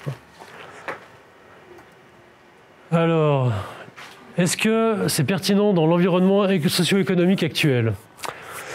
Alors, euh, je réponds oui, parce que les distributeurs n'ont pas besoin de vendre du foie gras pour s'enrichir en Suisse. Là, j'ai mis COP versus Migros. Alors COP, c'est un autre distributeur en Suisse. C'est les deux gros distributeurs suisses, les deux gros majoritaires. C'est vraiment les, c'est Carrefour et Leclerc. C'est vraiment la même chose. La COP ne vend pas de foie gras depuis 2001 maintenant. Ça fait longtemps qu'ils ont arrêté d'en vendre parce que pour eux, il y avait un problème euh, éthique en fait. Et euh, ils sont, comment dire, disons qu'ils sont une culture euh, alémanique à la base. La COP, c'est quelque chose qui est à la base alémanique. La Migros, c'est quelque chose qui est à la base roman. Euh, et dans la tradition alémanique, disons, de la COP, c'était pas si important que ça le foie gras, et ils ont décidé de stopper complètement la diffusion de ce produit, y compris en Romandie. La Migros continue d'en vendre, par contre, elle n'en vend pas en Suisse alémanique. Elle en vend qu'en Suisse romande, et peut-être un peu au Tessin. Mais en gros, elle en vend, elle en importe, elle fait aussi, elle organise des cours de cuisine de foie gras, machin, ça, elle fait plein de trucs autour du foie gras, mais en Suisse romande. Et elle en vend pas ailleurs, quoi. Donc en fait, et là, je suis allé pêcher quelques chiffres un peu euh, du, euh, quelques chiffres pour euh, étayer mon assertion qui est que les distributeurs n'ont pas besoin de vendre du foie gras pour s'enrichir. En gros, le chiffre d'affaires du foie gras, c'est 60 millions de francs. Euh, en, Suisse. Et le chiffre d'affaires total du groupe Migros en 2017, c'est allez, 30 milliards. C'est-à-dire que le foie gras représente que dalle, quoi, en fait, de tout ça. Donc il pourrait très bien s'en passer. Et, euh, il pourrait très bien, euh, enfin, juste faire autre chose, quoi.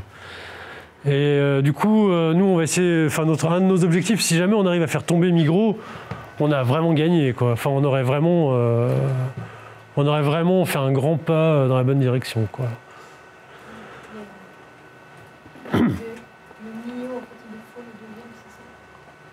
Ben, 20, 200, enfin 30, 30 000 millions, ça fait 30 milliards, ouais. Non. Cela dit, c'est pas forcément si simple que ça, parce que même si le chiffre d'affaires est faible, euh, on a vu que le, bénéfice peut être très fort. C'est vrai, oui, mais très fort, mais euh, dans toute proportion gardée. C'est-à-dire que, oui, ils font un gros chiffre sur, euh, sur, ce qu'ils vendent, sur le kilo qu'ils vendent à chaque fois, mais finalement, ils en vendent que 300 tonnes. C'est-à-dire que. Puis ils n'en vendent pas plus. On voit que ces trois dernières années, ça a eu tendance à décliner. les, ventes. Alors c'est lié à d'autres phénomènes. Hein. Il y a eu les, grippes aviaires en France qui ont fait qu'il y a eu moins d'exportations et que le prix au kilo a du coup augmenté. Enfin voilà, il y a, eu des trucs comme ça, mais, mais, mais grosso modo, euh, oui, ils font, euh, ils font quand même pas tant de chiffres avec ça. C'est pas négligeable, négligeable, mais je pense que les fluctuations euh, du franc par rapport à l'euro balayent ce petit pourcentage en deux secondes, quoi. Enfin voilà. alors les restaurateurs. Alors les restaurateurs, c'est nos autres euh, opposants, c'est-à-dire qu'eux, ils font, du fric sur le foie gras. Le foie gras, c'est génial pour un restaurateur parce que ça s'achète pas trop cher et ça se revend hyper cher parce que c'est un produit de luxe. On le vend très cher et puis on fait, il n'y a aucun travail quoi. On le prend, on le sort du frigo, on le met dans l'assiette, on le fourgue et on fait une plus-value de malade et on fait pas de travail. Donc ils adorent les restaurateurs ils adorent euh, vendre du foie gras, quoi. Et, euh, et, en plus, en Suisse romande, les restaurateurs, ils sont tous français, quoi. Alors ils sont là. J'ai bossé un peu dans la restauration euh, pour parce qu'à une époque j'avais un projet de resto vegan et du coup pour me faire la main pour voir comment c'était, je suis allé bosser dans des restaurants. Puis vraiment les chefs de cuisine de, de Suisse romande, alors c'est tous des Français. Et ils sont tous là à la période de Noël à se dire Alors, et toi, t'as fait combien de fois euh, Ouais, j'en ai fait 200 cette année, euh, moi 300, euh, super. voilà, ils sont tous là à fourguer du foie gras à gogo, quoi. Ils adorent. mais à part ça, s'ils arrêtaient du jour au lendemain de vendre du foie gras, ça ne mettrait pas en péril leur business, quoi. Il y aurait peut-être dans un premier temps ce qu'on appelle du tourisme d'achat, c'est-à-dire que des gens qui kiffent à fond le foie gras iraient en France, l'autre côté du lac, acheter euh, dans des restos français, se faire une tranche de foie gras de temps en temps, mais je pense que ça ne durerait pas très longtemps, sincèrement. Et puis, euh, le soir, quand on avait envie de se faire une pizza, on va se faire une pizza et puis on va pas, euh, on va pas penser foie gras tout le temps. Quoi. Donc je pense que les restaurateurs, ils perdraient pas non plus énormément. sauf sauf voilà, cette facilité de vendre un produit cher qui ne demande aucun travail. Quoi. Mais les, restaurateurs suisses-allemands, enfin suisses-alémaniques, ils vendent pas de foie gras et pourtant euh, ils vivent. Quoi, Un autre point, c'est que les paysans sont favorables. Ça, on en a eu la confirmation avec la motion Abischer quand ça a été voté au Parlement, euh, au Conseil national. On a vu que les, parlementaires issus du milieu paysan ont voté oui à la motion Abischer parce que ça proposait une, une limitation à l'importation de produits étrangers. Quoi. Et puis voilà, la cause animale, elle va en poupe. Est-ce que c'est applicable? Oui, donc euh, je vous l'ai déjà dit, c'est que 20% de la Suisse qui est concernée en réalité. Alors c'est un avantage à l'échelle, euh, si on a un vote à l'échelle de toute la Suisse, parce que du coup on a 80% des gens, 80% des gens qui sont d'accord avec nous. C'est un désavantage parce que quand on veut faire des campagnes en Suisse alémanique, eh ben, il y a peu de militants qui sont prêts à se bouger sur cette question parce que pour eux ça n'existe pas. Quoi. En fait, les, militants animalistes suisses-allemands, ils ne voient pas de foie gras autour d'eux, ils ne voient pas pourquoi ils militeraient, ils se bougeraient sur cette question-là. Et en réalité, c'est vachement dur euh, de les, mobiliser sur cette question. Donc c'est d'un certain côté, c'est aussi un désavantage pour nous, mais euh, voilà, il suffit de communiquer plus avec eux, je pense. Et puis voilà, ça irait mieux tu dis euh, les 80% ils sont d'accord avec nous, mais ils sont d'accord pour ne pas en manger. C'est pas la même chose que de voter une interdiction, euh, parce que tu pourrais dire. Ouais, non mais théoriquement, en tout cas, bien sûr que c'est pas si simple. Disons qu'en théorie, en théorie, on gagne, quoi. Voilà, quoi. En théorie, les Suisses allemands, ils vont pas. Ils vont pas. Déjà, ça leur ferait trop plaisir de faire chier les romans, quoi. donc, donc si, il y a moyen, ils vont le faire. Et puis surtout que ça les, ça les impacte pas du tout. Et euh, il y, a en Suisse ce qu'on appelle le, le Graben. C'est la frontière de Rösti. C'est euh, le Rösti, c'est un plat traditionnel euh, suisse-allemand, quoi. Et en fait, c'est il y, a vraiment une espèce de guerre, les romans, les alémaniques. Et puis, il y a toujours. Enfin, comme vous avez vu la carte, les. Je sais pas si j'ai.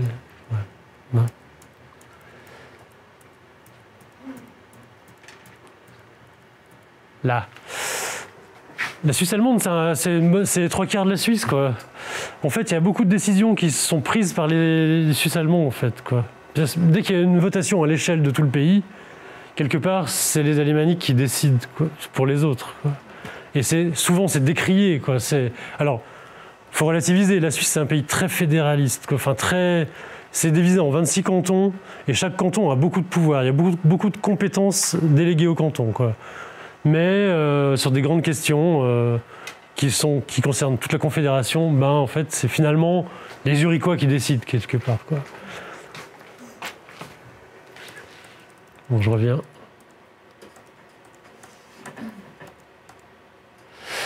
Euh, ouais, voilà, donc c'est ça que je veux dire par là. Après, évidemment, si nos opposants font une méga campagne en Suisse allemande et que nous, on n'arrive pas à suivre, ben, on perdrait peut-être, tu vois.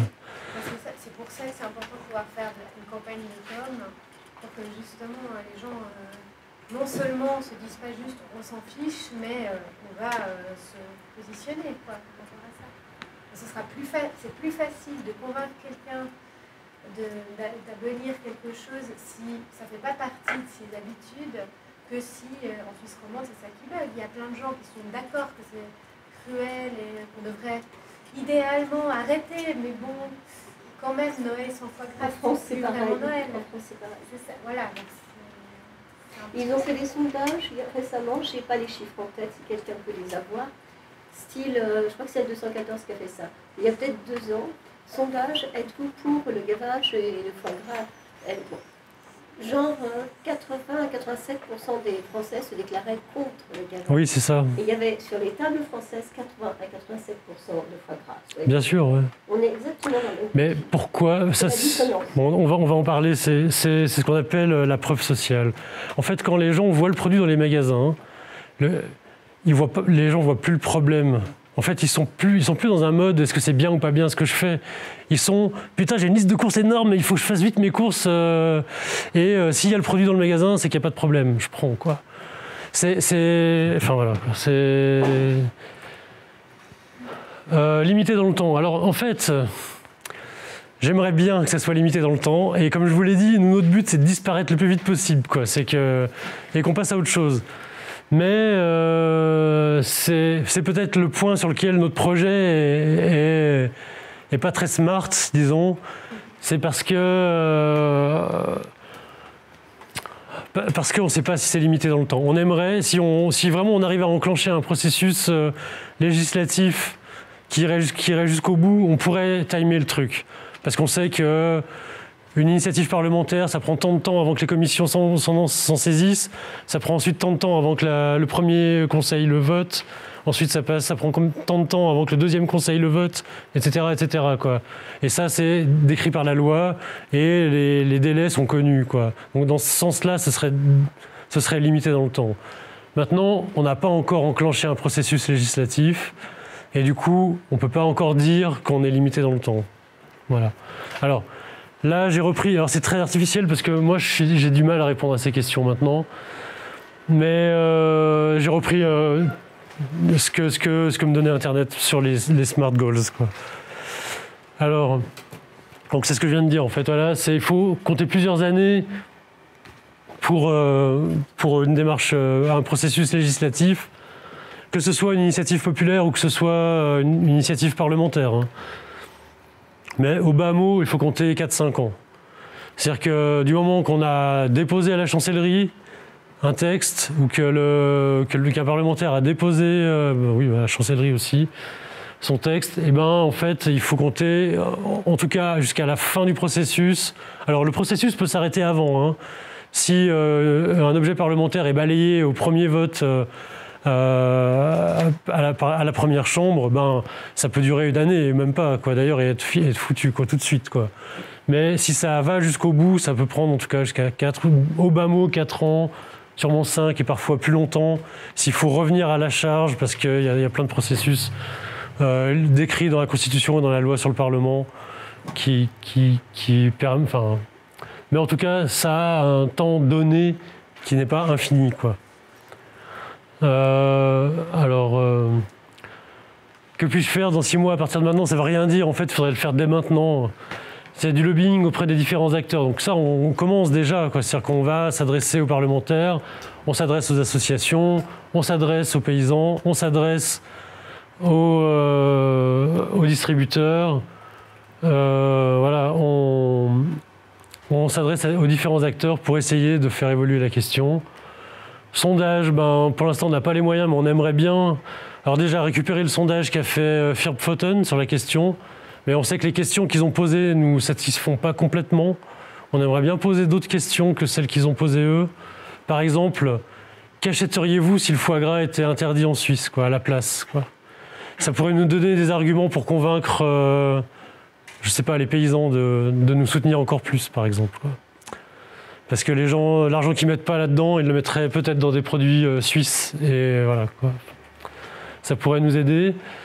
Et euh, voilà, on a besoin de communiquer pour vraiment casser cette image. Euh, voilà, ça c'est difficile, on n'a pas les moyens de la filière française, mais il faut, on peut quand même instiller quelques petites choses dans l'esprit des gens.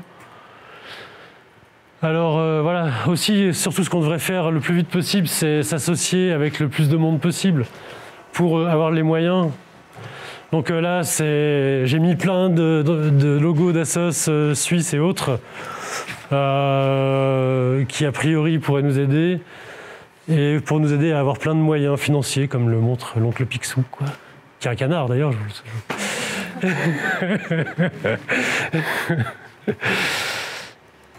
euh... Voilà, alors que puis-je faire aujourd'hui? Ben, Comme je suis face à des activistes français, on peut, on aimerait bien euh, être soutenu et aidé aussi par des Français concrètement. Parce que nous, on est en Suisse, on n'est pas en France et les élevages sont en France. Quoi. Et euh, on, bon, alors le premier point, c'est filmer en 3D dans les élevages. En réalité, on aimerait bien faire ça. Je ne sais pas si vous avez déjà vu ce genre de film 3D dans des abattoirs ou des élevages de cochons ou de. Je ne sais pas si vous connaissez ce genre de truc. Vous n'avez jamais vu Alors, euh, c'est assez impressionnant parce qu'en fait, enfin. Euh, quand on va sur un stand où il y a. Ben, PEA fait ça en fait très bien. Alors, je ne sais pas si tu veux en parler, Fabien, mais. C'est les films en 360. Voilà. Oui, enfin 360. Là, c'est. Euh, en gros, euh, on vous met un casque de réalité virtuelle sur la tête, et puis vous êtes dedans, quoi. Vous voyez, vous vivez dans la peau de l'animal, euh, ce qui se passe, et ça a un impact assez important sur euh, sur le, spectateur, disons, quoi. Et surtout, l'avantage, c'est que quand on a ça sur un stand, bah, ça, attire les gens, ils ont envie de voir, alors que la plus grosse difficulté, c'est toujours de mettre les personnes devant les films. On en a plein, des, des images, des films, tout ça, mais la difficulté, c'est de les montrer, quoi, en fait. C'est. Enfin. Moi, je sais, pour l'avoir fait l'expérience, dès que j'ai mis quelqu'un devant un film de, de L214 sur le gavage, je suis à peu près sûr que la personne, quand elle ressort de là, elle, va arrêter le foie gras, quoi. Mais, la difficulté, c'est de la mettre devant, quoi. Et euh, la, VR a cet avantage que les gens sont demandeurs de voir les choses. Le problème, c'est qu'aujourd'hui, il n'existe pas d'image de gavage euh, en réalité virtuelle. Et euh, nous, on aimerait bien bah, s'associer avec des gens qui seraient capables de nous aider à avoir ça. Quoi. Donc ça, c'est une des premières choses qu'on pourrait peut-être faire s'il y a des gens qui sont aptes ici à, mener ça. Une autre chose qu'on aimerait faire, et ça c'est plus pour euh, créer des petites histoires et créer un peu un lien émotionnel du public roman avec des animaux euh, issus de l'élevage de la filière foie gras, c'est qu'on euh, aimerait euh, pouvoir sauver des canards de, des élevages euh, de la filière foie gras et puis de les suivre sur les réseaux sociaux et de les faire suivre. C'est quoi alors, ah oui, alors, alors les canards mulards, c'est les canards utilisés pour la production de foie gras. En fait, c'est un croisement entre un canard de Barbarie, une canne de Pékin ou une canne euh, commune, et qui donne naissance à des canards mulards. Donc, c'est des canards blancs, comme ça, grands, qui sont gros quasiment comme des oies, et qui, euh, bah, qui sont utilisés pour la production de foie gras, parce que c'est les plus rentables pour ça. Quoi. Donc, en fait, on aimerait faire ça. On aimerait créer, enfin, pour créer un lien affectif, pour créer autre chose que juste la vision du soit des, des, images. Euh, enfin, on essaye de lutter contre l'effet paquet club, quoi. On essaye de lutter contre l'effet. C'est quoi cette image dégueulasse? Je veux pas voir ce truc. Donc on veut montrer des images mignonnes euh, de ce qu'on veut parler, quoi, pour euh, garder le, le lecteur plus longtemps, garder le spectateur plus longtemps vers notre message. Quoi. Et, euh, et, du coup, on veut, on veut montrer des canards euh, vivants en liberté et tout ça, et essayer de créer des liens comme ça. Et on cherche quelqu'un qui, est doué dans les réseaux sociaux pour nous aider aussi avec ça. Donc peut-être que chez les Français, il y en a. Y en a. Bah pour justement nous aider à créer ces histoires, à créer, à animer plus les réseaux sociaux autour de la question foie gras en Romandie.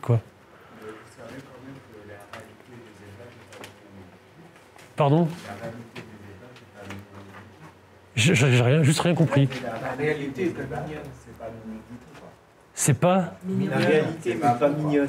Ah, mais je sais, bien sûr. Mais si tu veux, je suis pas né de la dernière pluie, c'est pas le problème.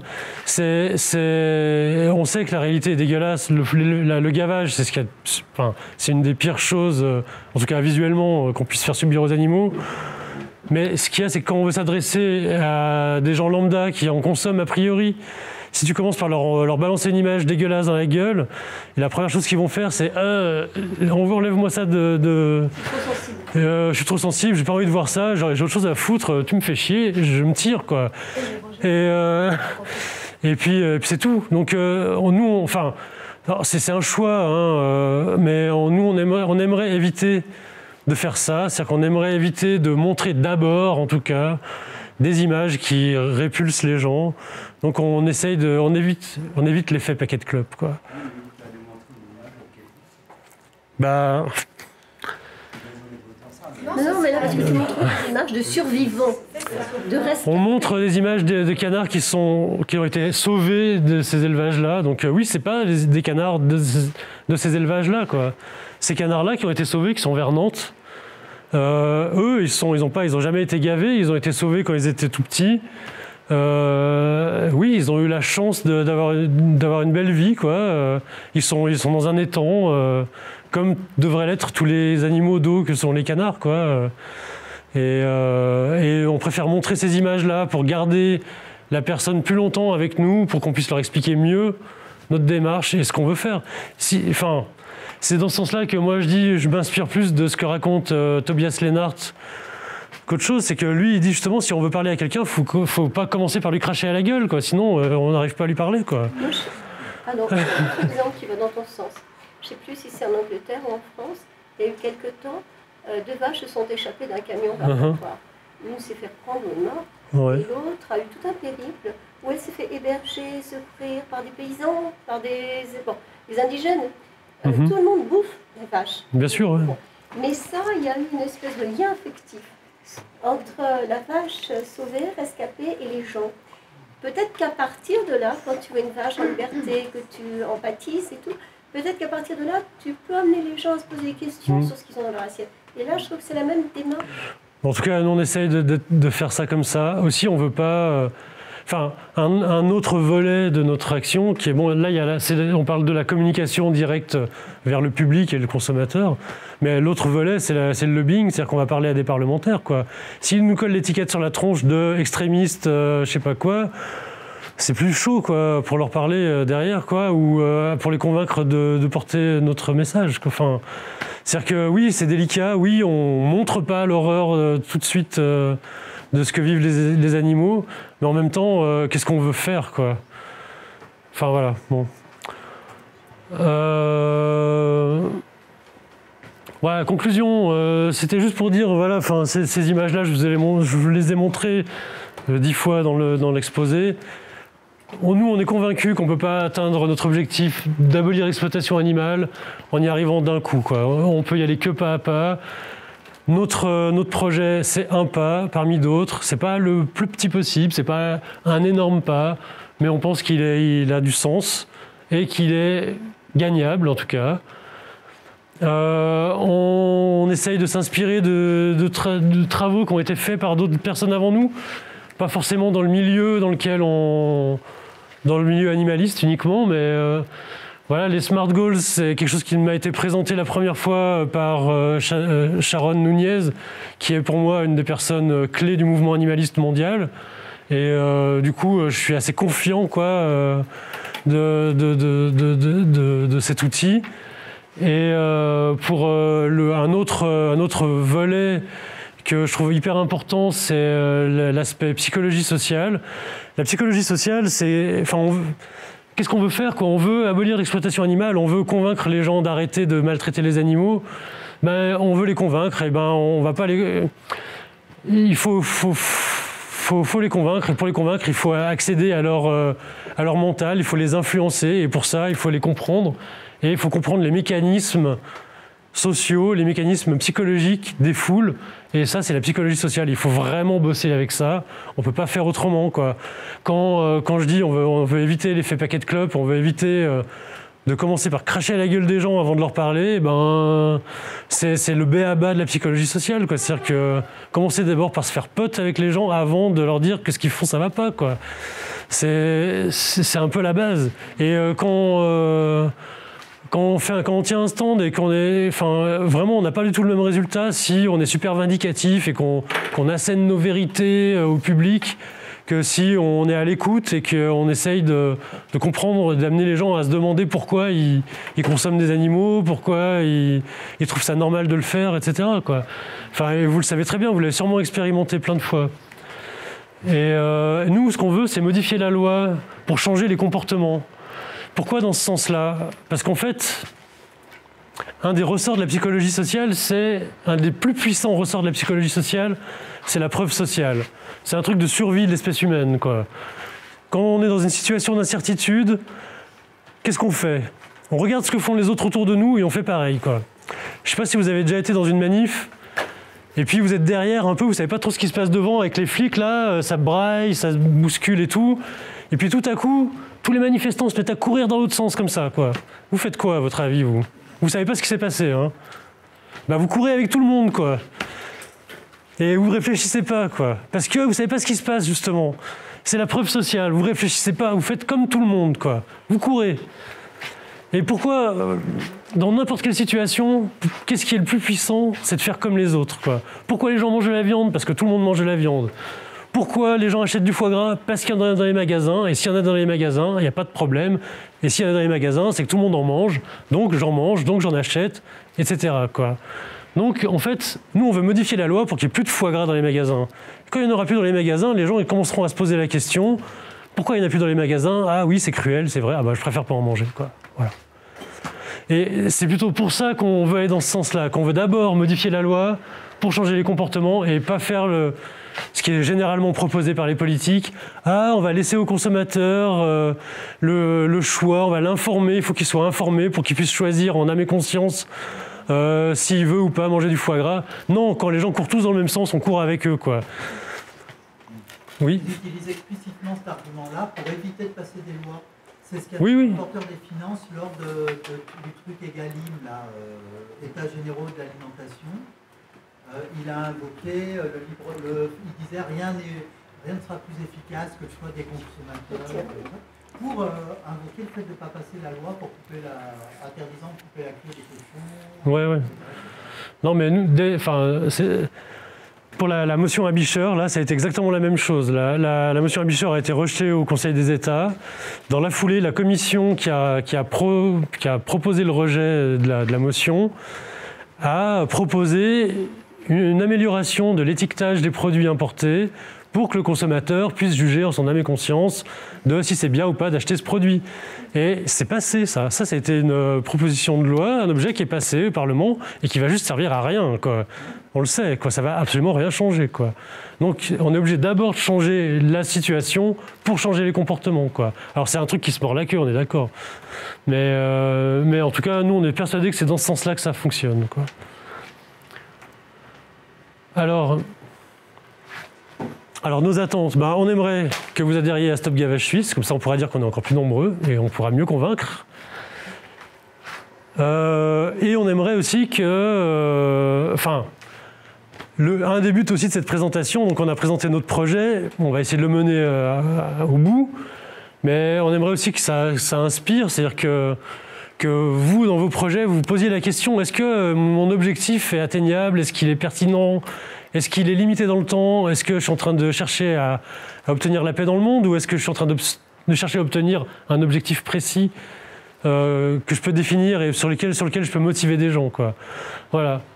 Et puis aussi, vraiment, l'utilisation de la psychologie sociale. Je vous incite vraiment à vous, à vous renseigner sur ce, sur ce domaine de la psychologie qui est vraiment hyper intéressant et riche et qui, euh, qui est utilisé aujourd'hui par les vendeurs de bagnoles et tous ceux qui veulent nous vendre des choses. Et, euh, mais euh, en tout cas, que nous, on peut utiliser à notre profit, enfin, au profit de la cause animale.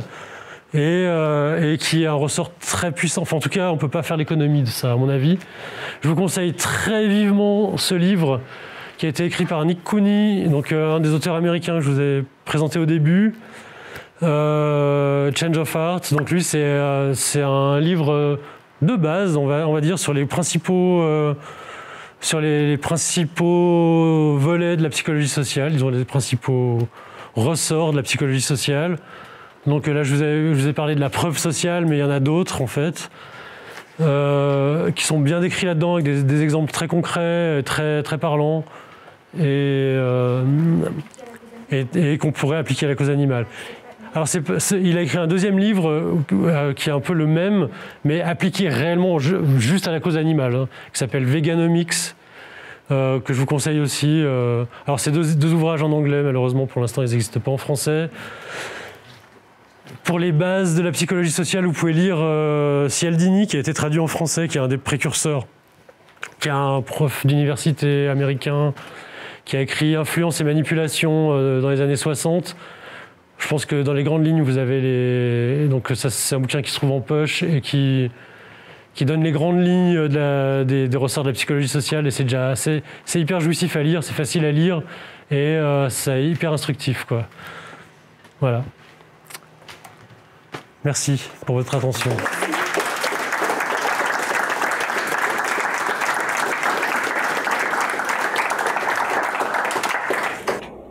Euh, D'abord, j'avais réactions sur des points de détail. Euh, tu as dit que le halal était interdit en Suisse. Est-ce que c'est pas plutôt euh, l'abattage sans étourdissement qui est interdit en Suisse Alors, euh, j'ai du mal à m'expliquer. que euh, PEA avait sorti justement une vidéo d'un abattoir qui fournissait des kebabs qui, qui vendaient du halal.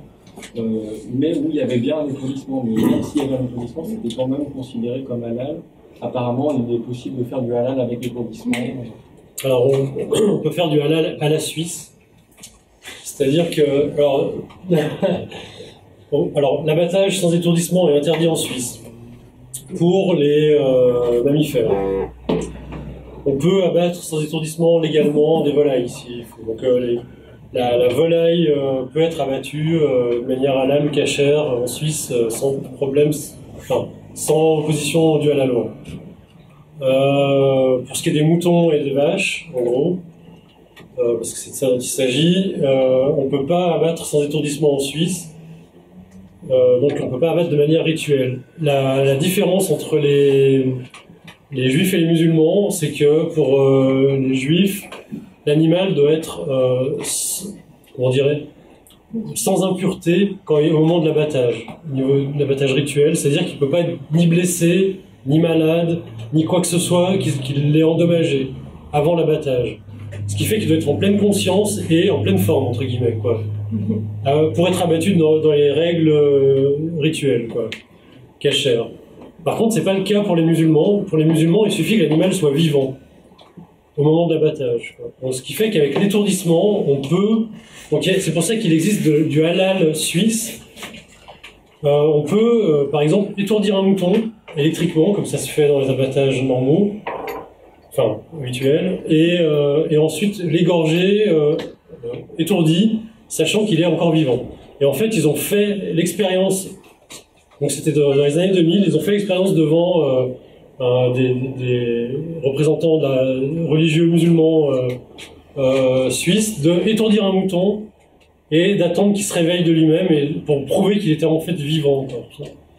Et donc ils ont fait ça et du coup de là le, les autorités religieuses musulmanes ont dit bon ok on accepte l'étourdissement des moutons électriquement de cette façon-là et on tolère que c'est c'est halal à ce moment-là. Voilà pour répondre à ta question. Après, euh, les poissons n'ont pas besoin d'être étourdis euh, pour être halal, cachère. Enfin, il y a plein. Les règles religieuses de c'est quoi qui est halal ou cachère, c'est hyper complexe en fait. Enfin, c'est hyper complexe. C'est euh, c'est sur des critères qui sont très euh, spécifiques à chacune de ces deux religions, et puis, euh, puis du coup, ça peut être assez bizarre. Par exemple, les, les je sais plus vraiment en tête, mais les juifs, ils peuvent manger des poissons, ils ont des écailles, mais ils peuvent droit de manger des crustacés. Enfin, ce genre de trucs. Enfin, du coup, il y a plein de trucs euh, bizarres.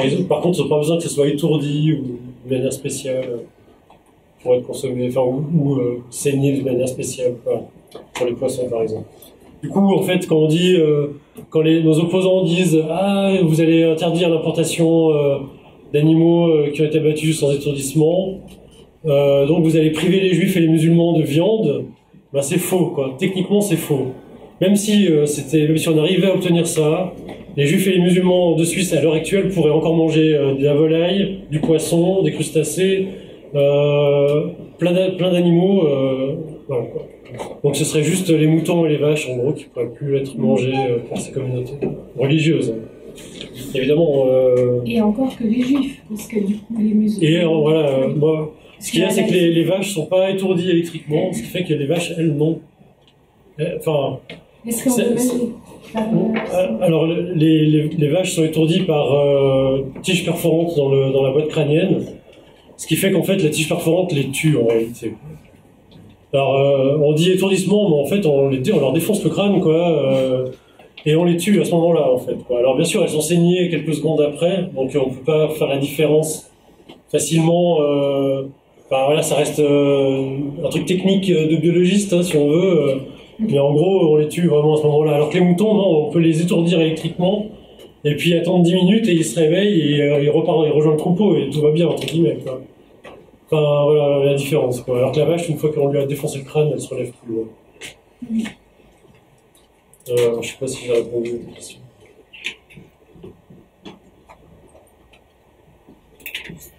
Pour revenir sur la, sur la COP, c'est quels ont été leurs arguments pour arrêter de vendre euh, excusez-moi, Alors, euh, vendu, enfin, ça date de avant qu'il y ait beaucoup de choses sur Internet.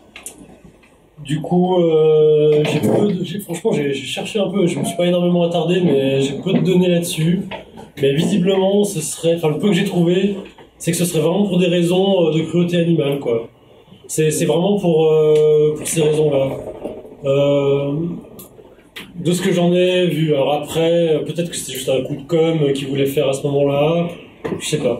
Peut-être qu'ils avaient peur de- d'être trop mis à mal par les opposants animalistes à ce moment-là, parce que ça date depuis longtemps la lutte contre le foie gras en Suisse aussi. hein. Mais de ce que j'en sais, c'est plutôt pour ces raisons-là.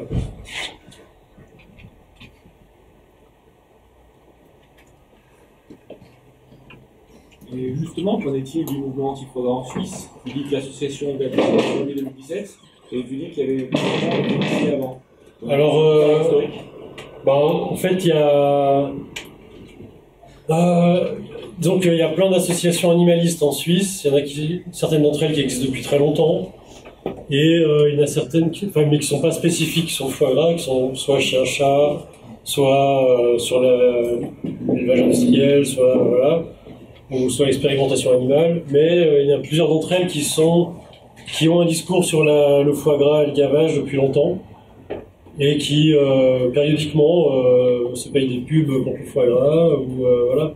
J'ai en tête la SVPA, donc la Su- Suisse, Société vaudoise de protection animale, qui est vraiment une antenne vaudoise, donc d'un des cantons suisses vers Lausanne de, de l'équivalent de la SPA, si vous voulez, qui, pour des raisons de personnes à l'intérieur, sont hyper anti-foie gras depuis longtemps. Depuis, je sais pas, il y a- ils ont sorti des pubs il y a 20 ou 30 ans euh, contre le foie gras. quoi.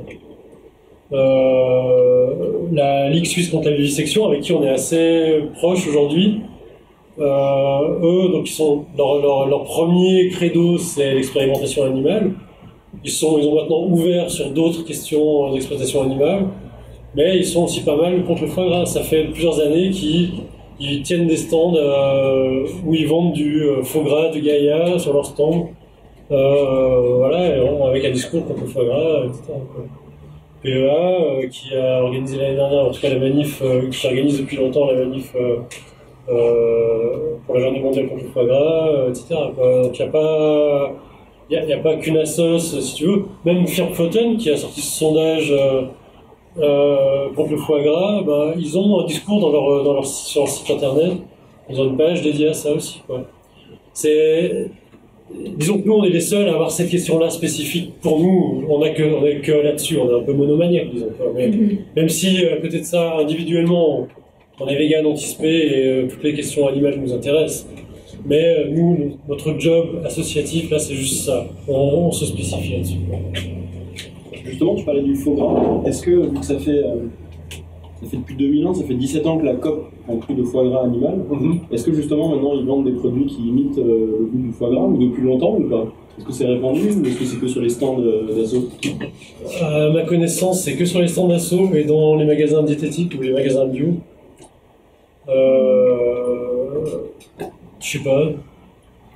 Il y a- À part le parfait végétal, euh, je vois pas ce qu'il y aurait. euh, Ouais, non, il n'y a, pas de- il y a pas de substitut en tant que tel euh, qui est vendu par la COP.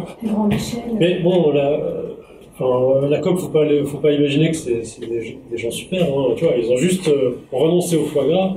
Ils sont propriétaires de Bell, euh, des abattoirs Bell. hein, c'est la moitié des abattoirs de Suisse. Et ils tuent des animaux à tour de bras. hein, ils, ont-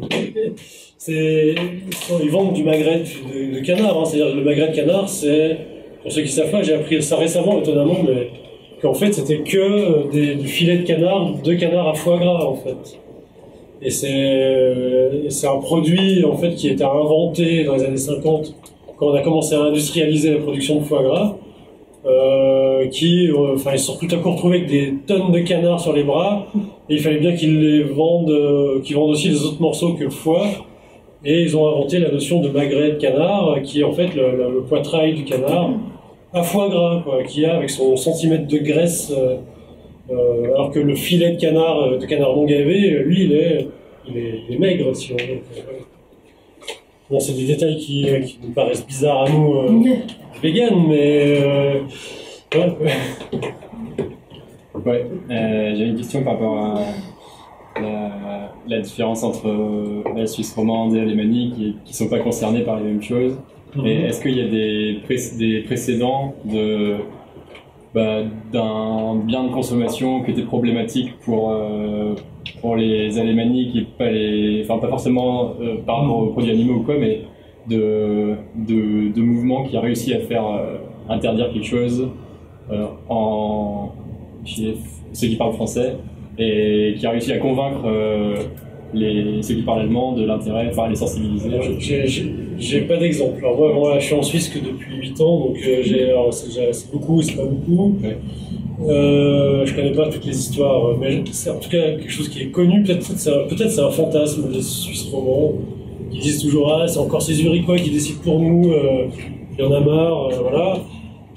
Peut-être peut-être pas. J'ai pas d'exemple. Peut-être t'en as. euh. Moi, je, je, je- non plus, j'ai pas de, notion d'un produit particulier comme ça. Mais, mais oui, par contre, euh, oui, on dit euh, le Rochtigraben, en gros, il y a les Neinsager, on dit les Suisses allemands, c'est les Neinsager, c'est ceux qui disent non. En gros, quand on propose euh, de rejoindre l'Europe, comme ça, la Suisse romande dit oui, la Suisse allemande dit non. Ça, c'est assez classique. Donc, on dit le Rochtigraben, mais aussi l'autre frontière un petit peu. Classiquement, bah, c'est vrai qu'il y a des pratiques et des, des idéologies qui sont euh, en vigueur plus souvent d'un côté que de l'autre. Pour un produit comme ça, c'est vrai que j'ai pas d'idée non plus d'un produit en particulier qui pourrait faire euh, Mais parler c'est- d'un côté. Ouais, c'est vrai que pour la, la question de l'adhésion ou non à l'Union Européenne, euh, ben voilà, ça s'est joué entre les francophones et les germanophones. Après ça, c'est un exemple où les personnes en question ont un intérêt personnel. Là, ne pas manger de foie gras ou l'interdire, t'as pas d'intérêt personnel à, à part peut-être faire Ouais. une guerre, mais ça paraît un peu liberticide. pour Non, mais les Suisses allemands sont conscients, quand on leur montre, qu'on leur dit ce que c'est que le foie gras, le gavage, ils sont en général assez outrés, quoi. Et... Alors bon, c'est toujours des salopards, hein, mais, euh, mais en général, une personne euh, trop psychopathe à la base, euh, elle va trouver ça dégueulasse, quoi. Euh, elle va trouver ça vraiment abusé de gaver un oiseau. Enfin, puis, euh, franchement, euh, les réactions qu'ils ont en général, c'est ils savent, en tout cas, ils savent que c'est mal, quoi. Alors, je sais pas de quelle manière ils le savent, euh, comment ils le perçoivent, mais en tout cas,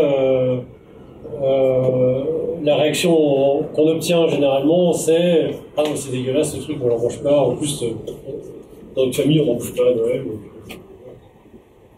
Et, et ces romans, bah, c'est comme ces français, des grenouilles, des escargots, des trucs.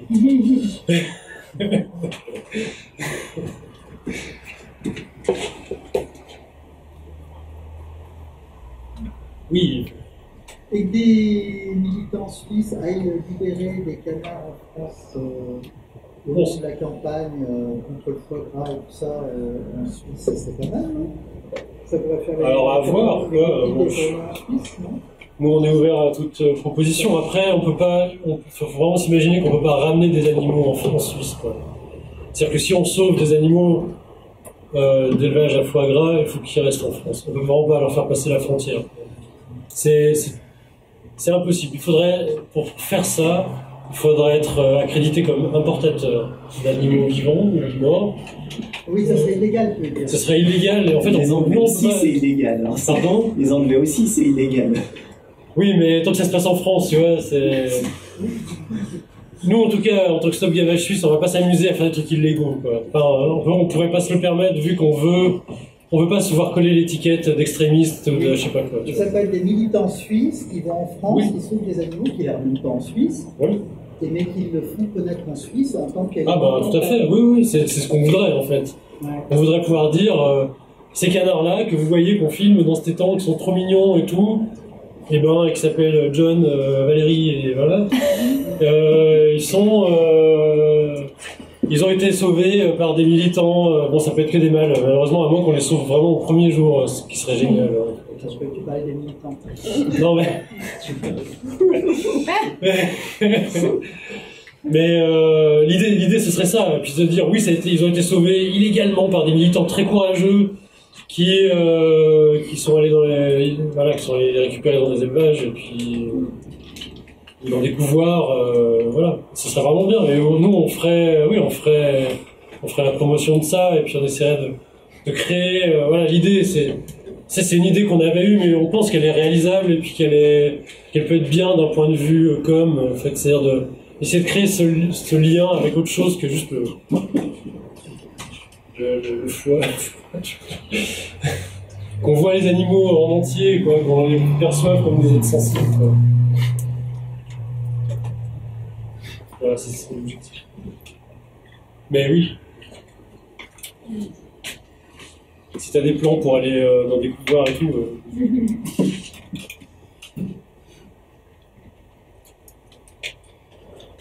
tu as commencé par dire que euh, le foie gras permettait de dégager des bons bénéfices, il y avait une grosse marge, et puis tu as dit plus loin que bon, finalement, ils peuvent quand même s'en passer parce que euh, ça représente une petite proportion de leur chiffre d'affaires. Mais est-ce qu'on ne pourrait pas dire ça de plein d'autres produits qu'on trouve dans un supermarché?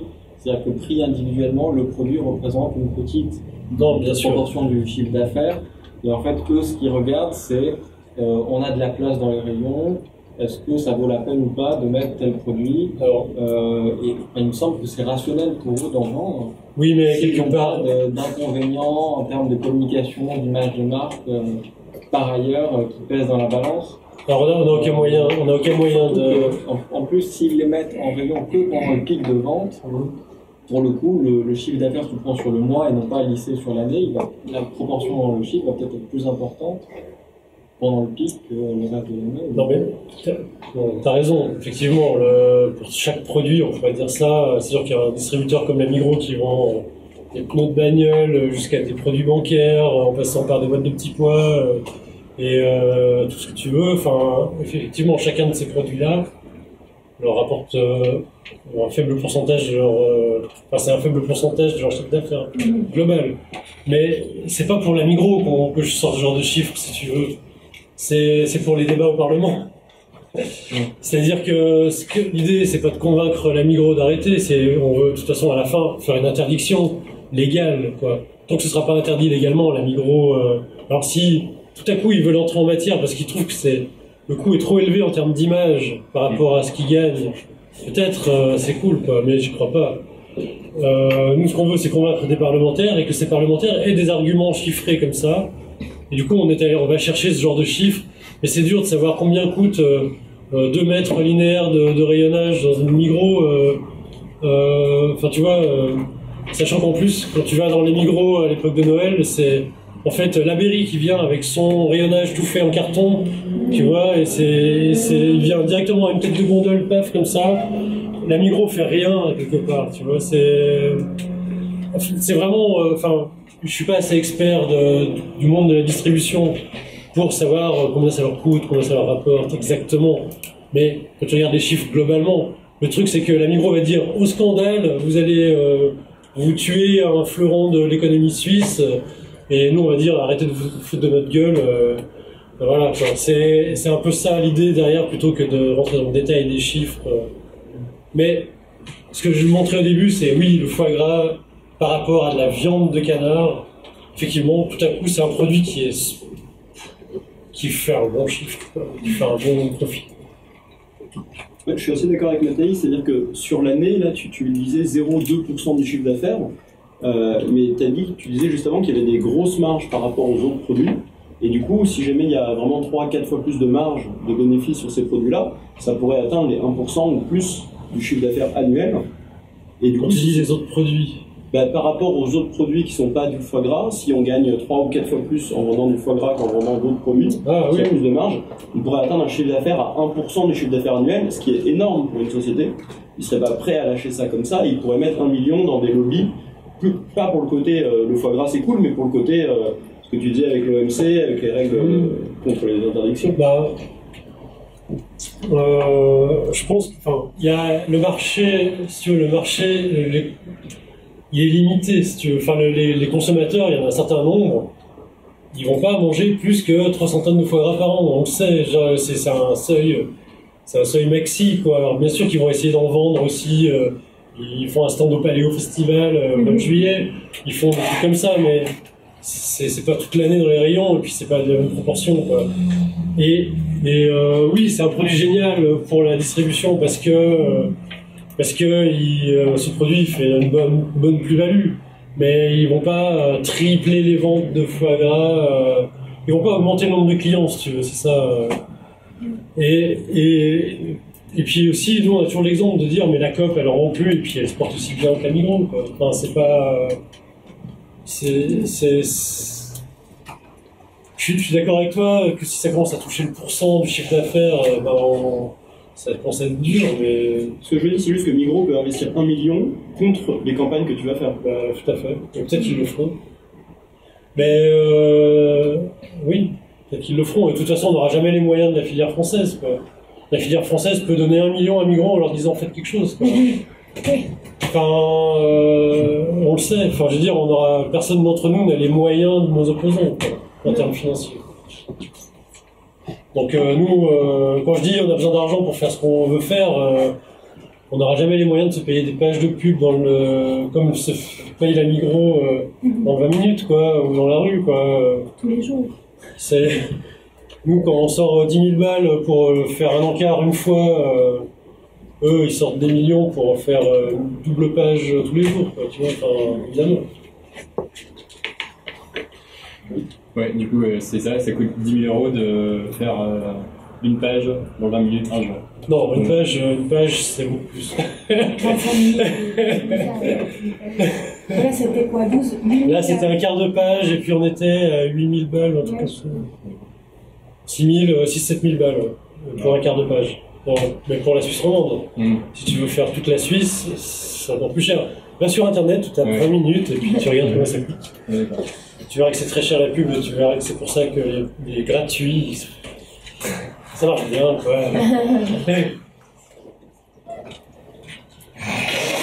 compléter ta réponse à Mathéi sur la présence des, euh, de ce produit-là dans le linéaire, la grande distribution. Il ne faut pas se limiter juste à la vue du chiffre d'affaires, etc. Sa présence dans le linéaire, en fin d'année, s'explique surtout par le fait que c'est un produit d'appel de luxe pour appeler euh, des achats euh, annexes. Donc c'est du marketing, merchandising. Tu mets ta boîte de foie gras à 30 ou 50 euros.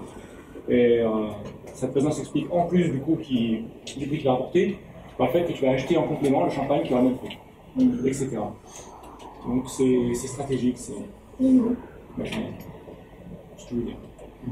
Mhm. C'est une réflexion intéressante. parce que quand je disais comment euh, emballer un petit peu, le, le- par exemple, le faux gras qu'on vend sur les stands, on s'était dit, est-ce qu'on ferait un stand un peu chic où on, on met les tables hautes, euh, on offre le champagne, le, le, le prosecco, je sais pas quoi, pour un peu donner du, du corps? Parce que c'est vrai que sur les stands, on vous fait une petite tartine de faux gras, euh, c'est pas très... euh, enfin, Il n'y a, pas tout l'emballage en fait que mettent... euh, c'est la fête. C'est euh, C'est- voilà, c'est c'est- coloré, les fêtes, c'est festif, c'est des petites guirlandes dessus, la décoration, etc. Donc en fait, ça c'est vraiment la- réfléchir éventuellement à, euh, à rendre plus euh, sexy, en guillemets, euh, les substituts, euh, pour que ce soit pas une perte en fait pour les gens, de, voilà, qu'on puisse euh, se, se sentir tout aussi euh, intéressant et, les autres qui ne proposent pas de foie gras sur leur table, ils trouvent aussi une valorisation de leur image. Qui est moral, mais qui est difficile de, de faire vivre. Bah, euh, faut gras vertueux, etc. C'est pour ça que c'est intéressant aussi de, de discuter dans des endroits comme ça où il, y a, où il peut surgir des fois des, des bonnes idées. Quoi. Donc, euh, commence à faire très chaud là. Je suis La filière viande en France est totalement subventionnée, elle n'existerait pas sans. Est-ce que la filière foie gras est subventionnée. Parce que tu sais, quand il y a une épidémie et qu'ils font ce qui s'appelle la vide sanitaire, oui, et qu'on nous explique qu'ils ont tué tous les, euh, les pauvres avant de les tuer après, est-ce qu'elle est subventionnée cette filière Mais euh, la filière foie gras française est subventionnée comme la filière viande française en général. En fait, la question c'était est-ce que la filière foie gras est subventionnée au, euh, au même titre que euh, est subventionnée la filière lait, viande euh, en France En fait, euh, comme je disais, il n'y a pas de production de foie gras en Suisse, alors la filière foie gras, elle existe pour, en fait pour nous qu'en France, quoi, et, dans les cinq pays de l'Union européenne qui produisent du foie gras, si tu veux. Et évidemment, comme toute production animale, c'est massivement subven- subventionné, parce que c'est pas rentable la production animale en général s'il n'y a pas de subvention. En, Suisse, en Suisse la, production laitière est ultra subventionnée de plein de façons différentes, soit directement en payant les, agri- les agriculteurs, soit en, payant pour les produits, enfin voilà, c'est de plein de manières différentes, euh, ou en faisant la promotion de manière étatique euh, des produits, euh, enfin, produits. Mais euh, pense, je pense pas qu'en Suisse il y ait une promotion spéciale, euh, une subvention spéciale par rapport au foie gras. C'est vrai, on pourrait se demander est-ce que, les- est-ce que la Suisse verse de l'argent à la France pour leur fournir, euh, pour les éleveurs euh, de foie gras français, pour fournir Probablement pas. Contentent d'être des bons clients. Oui, c'est des bons clients, c'est tout. Après, on ne sait pas ce qui se. Enfin, moi, je vois mal l'argent public qui irait en France pour, euh, pour qu'il y ait du foie gras de bonne qualité qui arrive en Suisse. En fait, c'est du foie gras de base. C'est du euh, la, la mairie et l'LPRA, euh, le truc super standard industriel qu'on trouve partout. Euh, après, dans les, les marchés de Noël, tout ça, euh, dans les restos, ils vont toujours vous dire Ah, c'est un petit producteur que je connais, machin. Mais à Noël, je sais pas si vous avez remarqué, mais tout le monde connaît un petit producteur, euh, machin. Alors on se demande de où ils sont tous ces petits producteurs.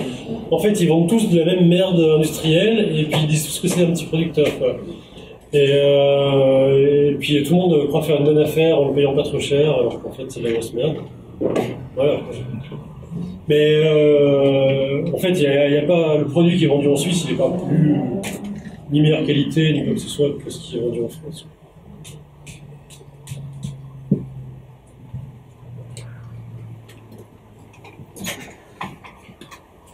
Et une. Quand tu dis 300 tonnes d'importation annuelle, il s'agit du programme juste français ou euh, Alors, euh, total, en fait, il y a 90% depuis la France, 10% depuis la Hongrie. En réalité, euh, bon, il y a 5 pays en Europe, enfin, l'Europe produit 97% du foie gras mondial. Sur ces 97%, il y a que 5 pays en Europe qui le produisent, mais euh, c'est la France qui produit les trois quarts. quoi. Donc, vraiment, la France, c'est le pays de la production de foie gras mondial. C'est trois quarts la production mondiale. hein. C'est les autres pays, c'est l'Espagne, la Belgique, la Bulgarie et la Hongrie. La Suisse, elle, importe depuis la France essentiellement, et donc du foie gras de canard, donc euh, du Labéry et du Delpera, un petit peu depuis la Hongrie qui, elle, a tendance à se spécialiser dans le foie gras d'oie. Alors le foie gras d'oie est plus onéreux à faire que le foie gras de canard, parce qu'il faut gaver les oies trois fois par jour au lieu de deux fois par jour pour les canards. En gros, c'est à cause de ça. Et, euh, et puis les Hongrois, ils ont des salaires euh, moyens plus bas qu'en France, et puis c'est tout. Quoi. Euh, donc la Hongrie a plutôt tendance à se spécialiser là-dedans. La France, comme elle produit les trois quarts, mais elle consomme aussi les trois quarts du foie gras mondial, vu qu'elle exporte, en fait, elle aussi, elle importe depuis la Bulgarie essentiellement, et l'Espagne et la Belgique, du foie gras pour, pour subvenir aux besoins de la population française. quoi. Enfin, à la, consom- à la demande de la population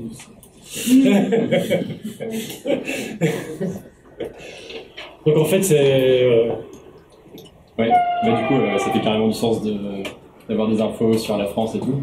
Euh, je me demandais euh, bah, deux questions du coup. Est-ce que les oies, c'est la même que pour les canards? Est-ce que c'est les mâles qui sont gavés? Et, et est-ce qu'on en sait un peu sur les conditions de, de gavage, enfin et d'élevage en Hongrie pour ce produit Alors je t'avouerai que je suis pas hyper renseigné là-dessus. Euh, Malheureusement, euh, c'est vrai que je demande, ça demanderait à creuser la question. Je me suis beaucoup euh, concentré sur les canards parce que c'est vraiment la grosse majorité. Alors effectivement, les oies étaient utilisées majoritairement jusque dans les années 50, tant que c'était un produit fait de manière traditionnelle, avant l'industrialisation, d'ailleurs de toutes les filières viande. hein. Et parce que c'est les plus gros oiseaux, en fait, de. Mais euh, dans les années 50, ça a changé. On est passé au canard mulard, qui était beaucoup plus rentable. quoi. Et depuis, c'est le canard, hein, en- une écrasante majorité. Du coup, d'ailleurs, c'est étonnant, euh, tout le- enfin, c'est resté dans les, dans les têtes. hein, quand on dit foie gras, les gens parlent euh, des oies, en fait, par, par défaut. quoi. Alors qu'en fait, c'est c'est vraiment. euh, C'était vrai jusque dans les années 50, c'est plus du tout aujourd'hui.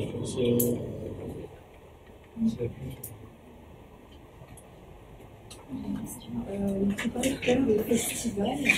Du coup, ça m'a fait penser au, au fait des vendanges à Neuchâtel. Mhm. Un des plus gros stands de, de bouffe. C'est, je ne sais plus qui c'est qui organise ça, mais c'est gras. Je sais pas si vous avez vu. Est-ce que peut-être faire une, une action un jour euh, Bah, c'est qui c'est tu m'en dises les dates, euh, puis volontiers on peut faire quelque chose. Ouais, ben, euh, ok, ouais, pourquoi Mais pas. c'est c'est récent ou ça fait plusieurs années que tu vois ça? Là, c'est, je ne peux pas te dire depuis quand, mais et je vu connais plusieurs beaucoup de gens. enfin, c'est, là, c'est là-bas que tu vas manger. Quoi. C'est, Tu vas manger Mhm. ton foie gras euh, au fait des vendanges. Mais moi j'étais choqué, je suis jamais allé au Paléo de ma vie, Paléo Festival, il y avait un stand de foie gras. quoi. Ouais, et au fait de la Euh, musique à Lausanne. À la fête de la musique à Lausanne, il y avait un stand de foie gras le 21 juin. Quoi. Ouais. Donc en fait, ça, euh, alors les. Suisses, c'est des bons clients, hein, ils ont plein de fric, ils payent bien. euh, pour eux, c'est pas le même prix. Hein, euh, le coût de la vie en Suisse, c'est quatre fois celui de la France. Donc en fait, quand, euh, quand tu payes quelque chose 50 balles ici, pour un Suisse, 50 balles, euh, c'est- c'est pas le même. Enfin, du coup, le coût de la tartine de foie gras, euh, c'est pas le même. en fait.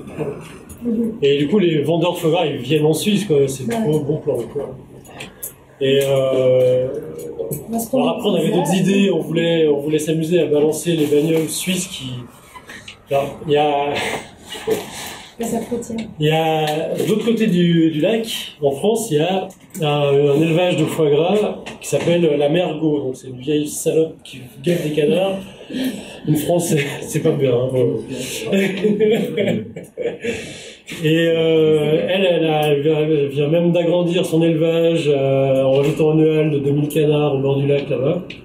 Et en fait, quand on va là-bas, on voit t'as que des bagnoles avec des plaques genevoises et vaudoises, valaisannes qui repartent de chez elles avec les coffres blindés de foie gras. Et nous, ce qu'on voulait faire, alors en Suisse, il y a la loi interdit de transporter plus, plus d'un kilo de viande par personne. Traverser la frontière avec plus d'un kilo de viande par personne. Alors on avait envie de se poster à la sortie de chez la Mergot, quoi, et puis de, photographier toutes les plaques de bagnole qui genevoises qui ressortent de là-bas, et puis de les envoyer à la douane de Bardonnay et leur dire peut-être vous pourriez contrôler cette voiture qui est sûrement pleine de foie gras dans son coffre et qui à voir, peut-être à organiser avec les douaniers pour que la viande en général, c'est 1 kg. Donc euh, si, si le mec il est tout seul dans sa bagnole et qu'il a 1,2 kg de foie gras dans son coffre, il est amendable. Je pense qu'il va, ça peut les refroidir, ça peut les faire chier. Et Sinon, tu peux juste mettre un panneau, entre guillemets, euh, devant le, là où c'est. hein. Comme ça, les gens ils vont dire Ah, peut-être Non mais moi, moi franchement, mon rêve, quand j'aurai fini avec cette histoire, c'est que et que le foie gras sera interdit en Suisse, ce sera de balancer tous les gens qui en auront. hein. C'est d'aller dans tous les magasins et d'appeler les flics. hein. et d'aller à la douane et de, de jubiler et de voir des, des gens sur le coffre de leur bagnole et qu'il y ait du foie gras là-dedans. hein. Non mais... non, je rigole, mais euh, en gros, je, je- je rêve de ce moment-là. hein. Ou euh, on pourra faire le tour des restos et des palaces et puis de regarder les cartes et puis de- d'aller euh, d'aller euh, de s'asseoir à table et de dire est-ce que vous avez du foie gras Euh, Oui, oui, bien sûr. Ah, bon. Le foie gras, c'est la première étape. non, mais voilà, je rigole, mais... Après, ce sera toute la viande. Tu l'appelles comment, Go le, le nom de famille de la mère? Go. La mère Go, G-A-U-D. Merci. Bon, bah, c'est une paysanne là-bas, tu vois. Elle s'est spécialisée là-dedans, et puis... Alors, elle, c'est typique, à Noël, euh, enfin, tous les ans, les journalistes, ils vont interviewer euh, la Migros ou euh, des, des consommateurs de foie gras au chalet de Noël euh, à Lausanne. Ensuite, ils viennent m'interviewer moi. Après, ils vont chez la Mergo interviewer le- l'éleveur, le gaveur de la Mergo pour lui demander s'il traite bien ses animaux. Enfin, voilà, c'est toujours le même cirque euh, chaque année. Est-ce que. Pardon Euh, Oui, je pense. Mais à mon avis, euh, tout, tout est parfait chez elle. La question. Est-ce qu'elle fait visiter son élevage? Je pense que oui, en fait. Sincèrement, euh, ils ouvrent. Mais comme tous les gens qui font de la vente de produits traditionnels, terroirs, blablabla, euh, c'est trop bien. Elle va toujours te montrer les canards qui sont euh, pas en salle de garage euh, et qui sont en train de courir dans un petit pré d'herbe derrière où tout est beau, tout est parfait, quoi. Mais il faut aller voir, effectivement, t'as raison. hein. De toute façon, tu as vu qu'en France, la répression, enfin l'hygiène, la pression des poids, tout est complice de l'État. Enfin, je couvre l'État. Ça peut être innommable à l'intérieur. ou quelque chose, mais c'est. euh, Ça va pas.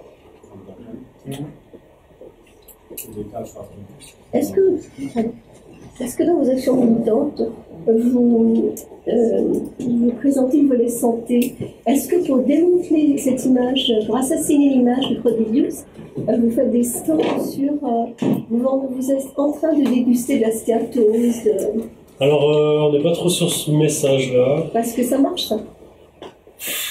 Je suis pas convaincu, disons. Mais, enfin, euh, je pense que les... Enfin, je suis vraiment pas convaincu que le message euh, santé soit porteur. euh. Disons que, enfin, les, les gens qui ont envie d'en consommer, enfin, je pense que ce qui marche le mieux, c'est la preuve sociale, vraiment, quoi. C'est, euh, il faut pas en manger parce que personne n'en mange. Il faut pas en manger parce qu'une majorité des gens disent que c'est de la merde. Il faut pas, parce que, euh, si tu veux, euh, le- les gens ils fument et puis ils savent que c'est mauvais pour la santé et puis ils fument quand même et puis tant pis quoi, allez. Il y en a arrêtent de en qui arrêtent de fumer parce que c'est mauvais pour la santé. Ouais, enfin, mais je pense pas que c'est. Je pense que la plupart des gens qui ont arrêté de fumer euh, lors des vagues de de, de, de, com anti-tabac, c'était parce que beaucoup de gens arrêtaient de fumer en fait. En fait, je pense que ce qui a le mieux marché dans ces trucs-là, c'est parce que il y avait un mouvement social général qui allait vers l'arrêt du tabac. On a interdit dans les restaurants, donc on voyait moins de gens fumer, donc c'était aussi mal perçu de fumer, donc j'arrête de fumer quoi. Alors que si, euh, alors que pendant des années il y a eu des messages sur la santé par rapport à la clope, et tout le monde s'en foutait quoi. Bah il faut bien crever de quelque chose, allez fume-moi une clope quoi. Euh, Enfin ouais. De toute façon, c'est qu'une fois par année. De toute façon, c'est qu'une fois par année Et foie gras, donc en plus, tu vois, risque. tu. puis, Enfin, je sais pas. euh, C'est pour ça que je suis pas convaincu par le message santé, disons. Mais après, ça peut porter pour certaines personnes. hein. Mais même si c'est une fois par, par année, peut-être que l'on dit vous mangez un foie malade, rendu malade, euh, de façon festive, peut-être que ça, ça. Pour, l'instant, enfin, mais après, ça resterait à étudier. Disons, mais on est plus sur le message. Est-ce que vous êtes au courant que le foie gras est interdit en Suisse? Parce que en fait, les gens ne savent pas. Et, le fait de leur dire ça, c'est leur dire, mais est-ce que vous savez qu'il y a un problème avec ce produit? Pour l'instant, ils ne voient pas le problème. Aujourd'hui, on veut leur montrer qu'il y a un problème. Euh, ils savent que c'est dégueulasse, ils savent que c'est controversé, mais le fait de leur dire que la Suisse l'a interdit, ils vont dire, enfin, j'ai le sentiment qu'ils vont plutôt dire, mais ah, peut-être qu'il y a un problème, peut-être que c'est mal, peut-être que je vais arrêter, peut-être que j'en ai pas besoin. Et puis, ce que j'ai remarqué récemment, c'est qu'il y en a beaucoup qui croient et qui sortent cette euh, ex- excuse que c'est un produit traditionnel de Noël. Et du coup, peut-être qu'on va aller là-dessus, sur un message comme ça aussi en plus, de dire, mais ça n'a rien d'un produit traditionnel suisse. C'est un produit français, les produits traditionnels suisses, c'est la fondue et, euh, et euh, je sais pas quoi d'autre d'ailleurs, mais le papé vaudois, j'en sais rien, mais en tout cas, euh, c'est pas le foie gras, quoi. Il n'y a jamais eu de foie gras en Suisse, euh, on vous fait bourrer le mou par la filière française. Mais peut-être que je me trompe, ce serait à étudier. De toute façon, tous les arguments, euh, à un moment ou l'autre, peuvent avoir leur poids selon les gens à qui on s'adresse et selon les circonstances.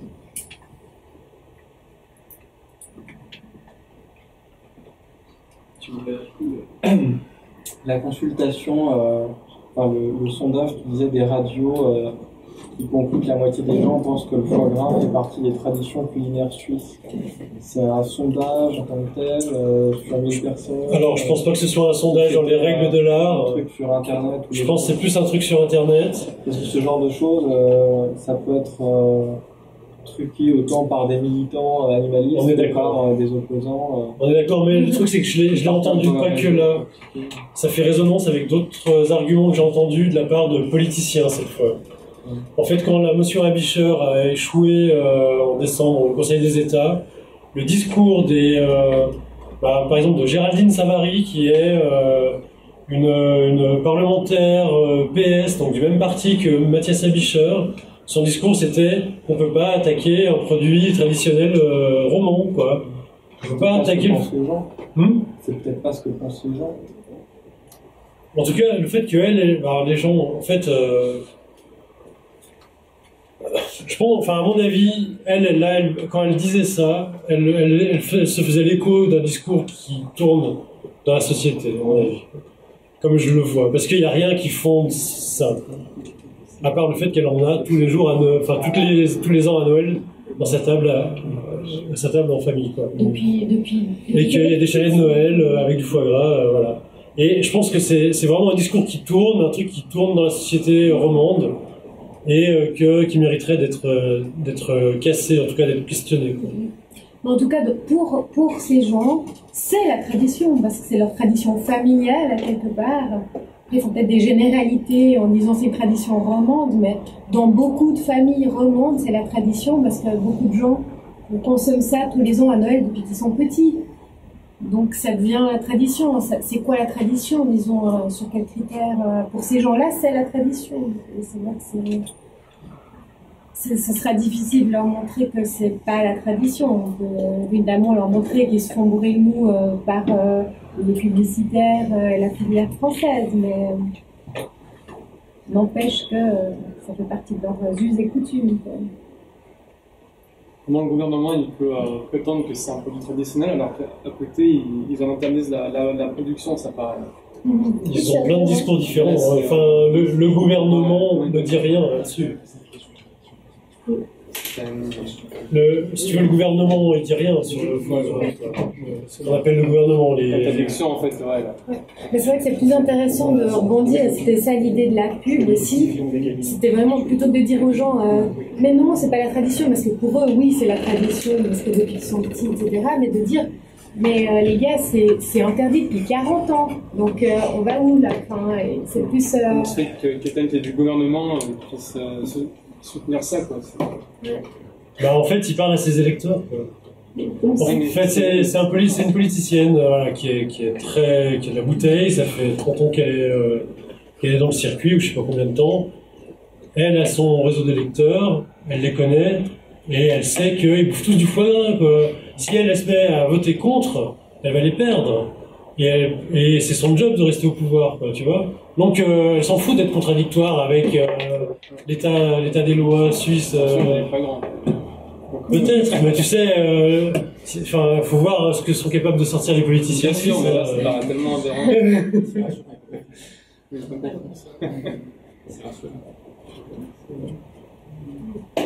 Euh, si, si, euh, si vous voulez, on peut continuer plus, de manière plus informelle, euh, si ça vous va.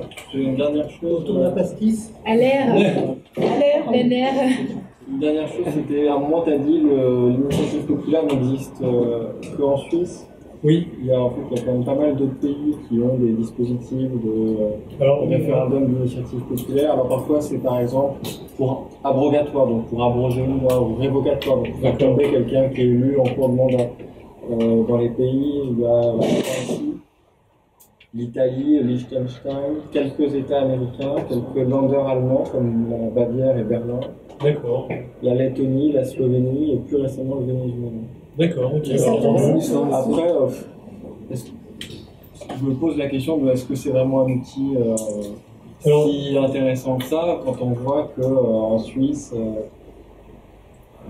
à chaque fois qu'il y a des initiatives qui ont l'air euh, prometteuses, euh, il y a de lobby en face, des partis qui fait, se réveillent, qui font des campagnes massives. euh, en réalité- euh, comme euh, je sais pas l'initiative euh, euh, taxer les héritages de plusieurs millions pour euh, financer les retraites. Non, on ne touche pas aux morts. Euh, Non, mais ça, c'est euh, euh, voilà, le- les énergies renouvelables, euh, il y avait une campagne de pub en face, en face avec une femme qui était sous une douche froide et qui, qui avait le visage Ouais, tout ouais, crispé. Euh, Non, non, mais en plus, les affiches non, non, politiques, elles sont terribles. euh, à Genève. Ouais, ouais. Et non aux mais, fins de mais de plus, vacances. plus généralement sur l'initiative populaire, c'est vrai que c'est questionnable hein, comme, euh, comme outil. Ça paraît vachement bien parce que oui, le peuple peut se saisir par lui-même d'un, euh, enfin peut proposer lui-même une loi en fait, quoi. Ce qui, à première vue, est bien. En réalité, qu'est-ce qui se passe? En réalité, c'est une minorité de gens qui va trouver que telle chose va être changée. Mais à la base, c'est forcément une minorité de personnes. C'est pas euh, la majorité. Sinon, ce serait le gouvernement qui proposerait la loi. Donc, c'est forcément un truc mis. Je pars du principe que le gouvernement représente la majorité. Alors, normalement, oui. On va partir de là, si tu veux bien. Après, on peut tout remettre en question, euh, mais dans, dans, dans les. Enfin, Ils ont été élus démo- démocratiquement. Normalement. Ces océans d'abstention, souvent. Ouais, ouais, mais bon. C'est en tout cas souvent un, un groupe min- très minoritaire, une associa- enfin, un groupe d'associations, un groupe de gens qui sont sur une question très particulière, qui vont proposer une initiative, euh, une modification de la loi qui concerne un point très précis qui, en général, touche pas le reste de la société. Enfin, pas que ça touche pas le reste de la société, mais où le, le reste de la société n'est pas vraiment concerné, intéressé, informé. Euh, donc c'est un groupe minoritaire qui va chercher à recueillir ces signatures. En général, ils perdent lors de la votation parce qu'ils sont minoritaires, justement, à la base. Et c'est comme ça que ça marche. Les seules initiatives qui vraiment aboutissent, initiatives populaires qui aboutissent, c'est des initiatives qui sont menées par des grands partis majoritaires, justement, qui se servent de cet outil qui devrait être un outil du peuple pour eux qui sont déjà au pouvoir, qui sont déjà majoritaires avec 40% des voix et qui euh, gagnent sur des trucs super racistes et super. euh, voilà quoi. Et euh, qui. euh, non mais franchement, c'est vraiment ça qui se passe en Suisse avec cet outil. La première initiative populaire de l'histoire, c'était ben, une initiative super antisémite. Et c'était l'initiative qui demandait l'interdiction de l'abattage rituel euh, halal et. Mais c'était antisémite, pour, pour de vrai à l'époque. C'était fin 19e siècle. et bon, à l'époque toute l'Europe était antisémite, mais. Mais du coup, c'est un outil qui est. euh, en fait, la, vraie façon de s'en servir, qui est, souhaitable, c'est de recueillir les 100 000 signatures, du coup, de contraindre le gouvernement à réfléchir à la question et à proposer un contre-projet, direct ou indirect. Et du coup, et ensuite, de, quand il y a, s'il y a un contre-projet qui a de la gueule, quoi, qui est intéressant, retirer l'initiative et faire voter son contre-projet. Ce qui fait que, en fait, du coup, à la fin, c'est un contre-projet qui été proposé par le gouvernement ou par le Parlement et qui euh, va plus et qui du coup va séduire plus les Suisses et qui va être porté par les politiciens, quoi, et par le gouvernement. Du coup, euh, qui a beaucoup plus de chances d'aboutir. Et euh, généralement, c'est ce qui se passe. Par exemple, en 2001, la, la, la PSA, donc l'équivalent de la SPA, avait fait une initiative populaire. Le, gouvernement avait, proposé un contre-projet indirect, parce qu'en fait, ce contre-projet, c'était une amélioration, la modification de la loi de protection animale, qui allait plus dans le sens de la, des animaux, en fait. Et la PSA a retiré son initiative au profit de cette amélioration de la loi de protection animale. Ce qui a eu de meilleurs résultats pour finir, parce qu'ils n'étaient pas du tout sûrs de gagner en maintenant leur initiative. Par contre, euh, l'amélioration de la loi de protection animale a été vraiment largement améliorée par ces propositions de la PSA. Enfin, voilà, Du coup, c'est plutôt la meilleure manière de s'en servir. quoi. Donc, euh, quand on dépose une initiative populaire, le, le rêve secret, c'est qu'il y ait une bonne proposition, un bon contre-projet, qui coûte beaucoup moins cher et qui a beaucoup plus de chances d'aboutir. Et le gouvernement est obligé de faire ce contre-projet? Pas du tout. Il peut ne pas faire contre-projet et juste dire euh, votez non à cette initiative. Et là, t'es un peu dans la merde, quoi. Enfin, t'es un peu dans la merde parce que ça va te coûter cher pour, la, pour financer ta campagne et en plus, t'as quasiment aucune chance de gagner. Euh... Enfin. euh,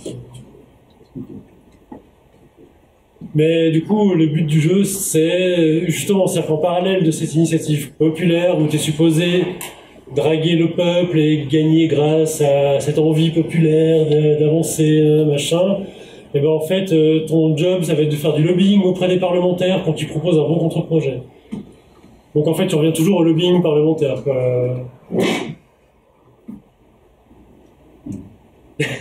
En fait, tu es conscient que tu nous casses l'image de la Suisse.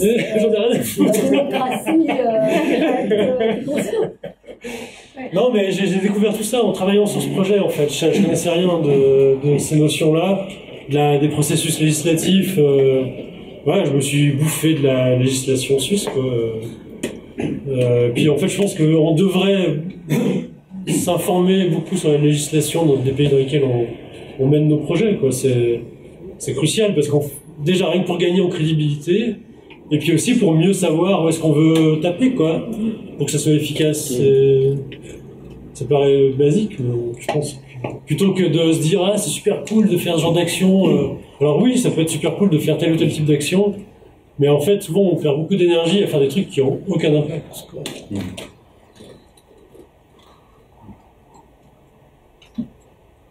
Voilà.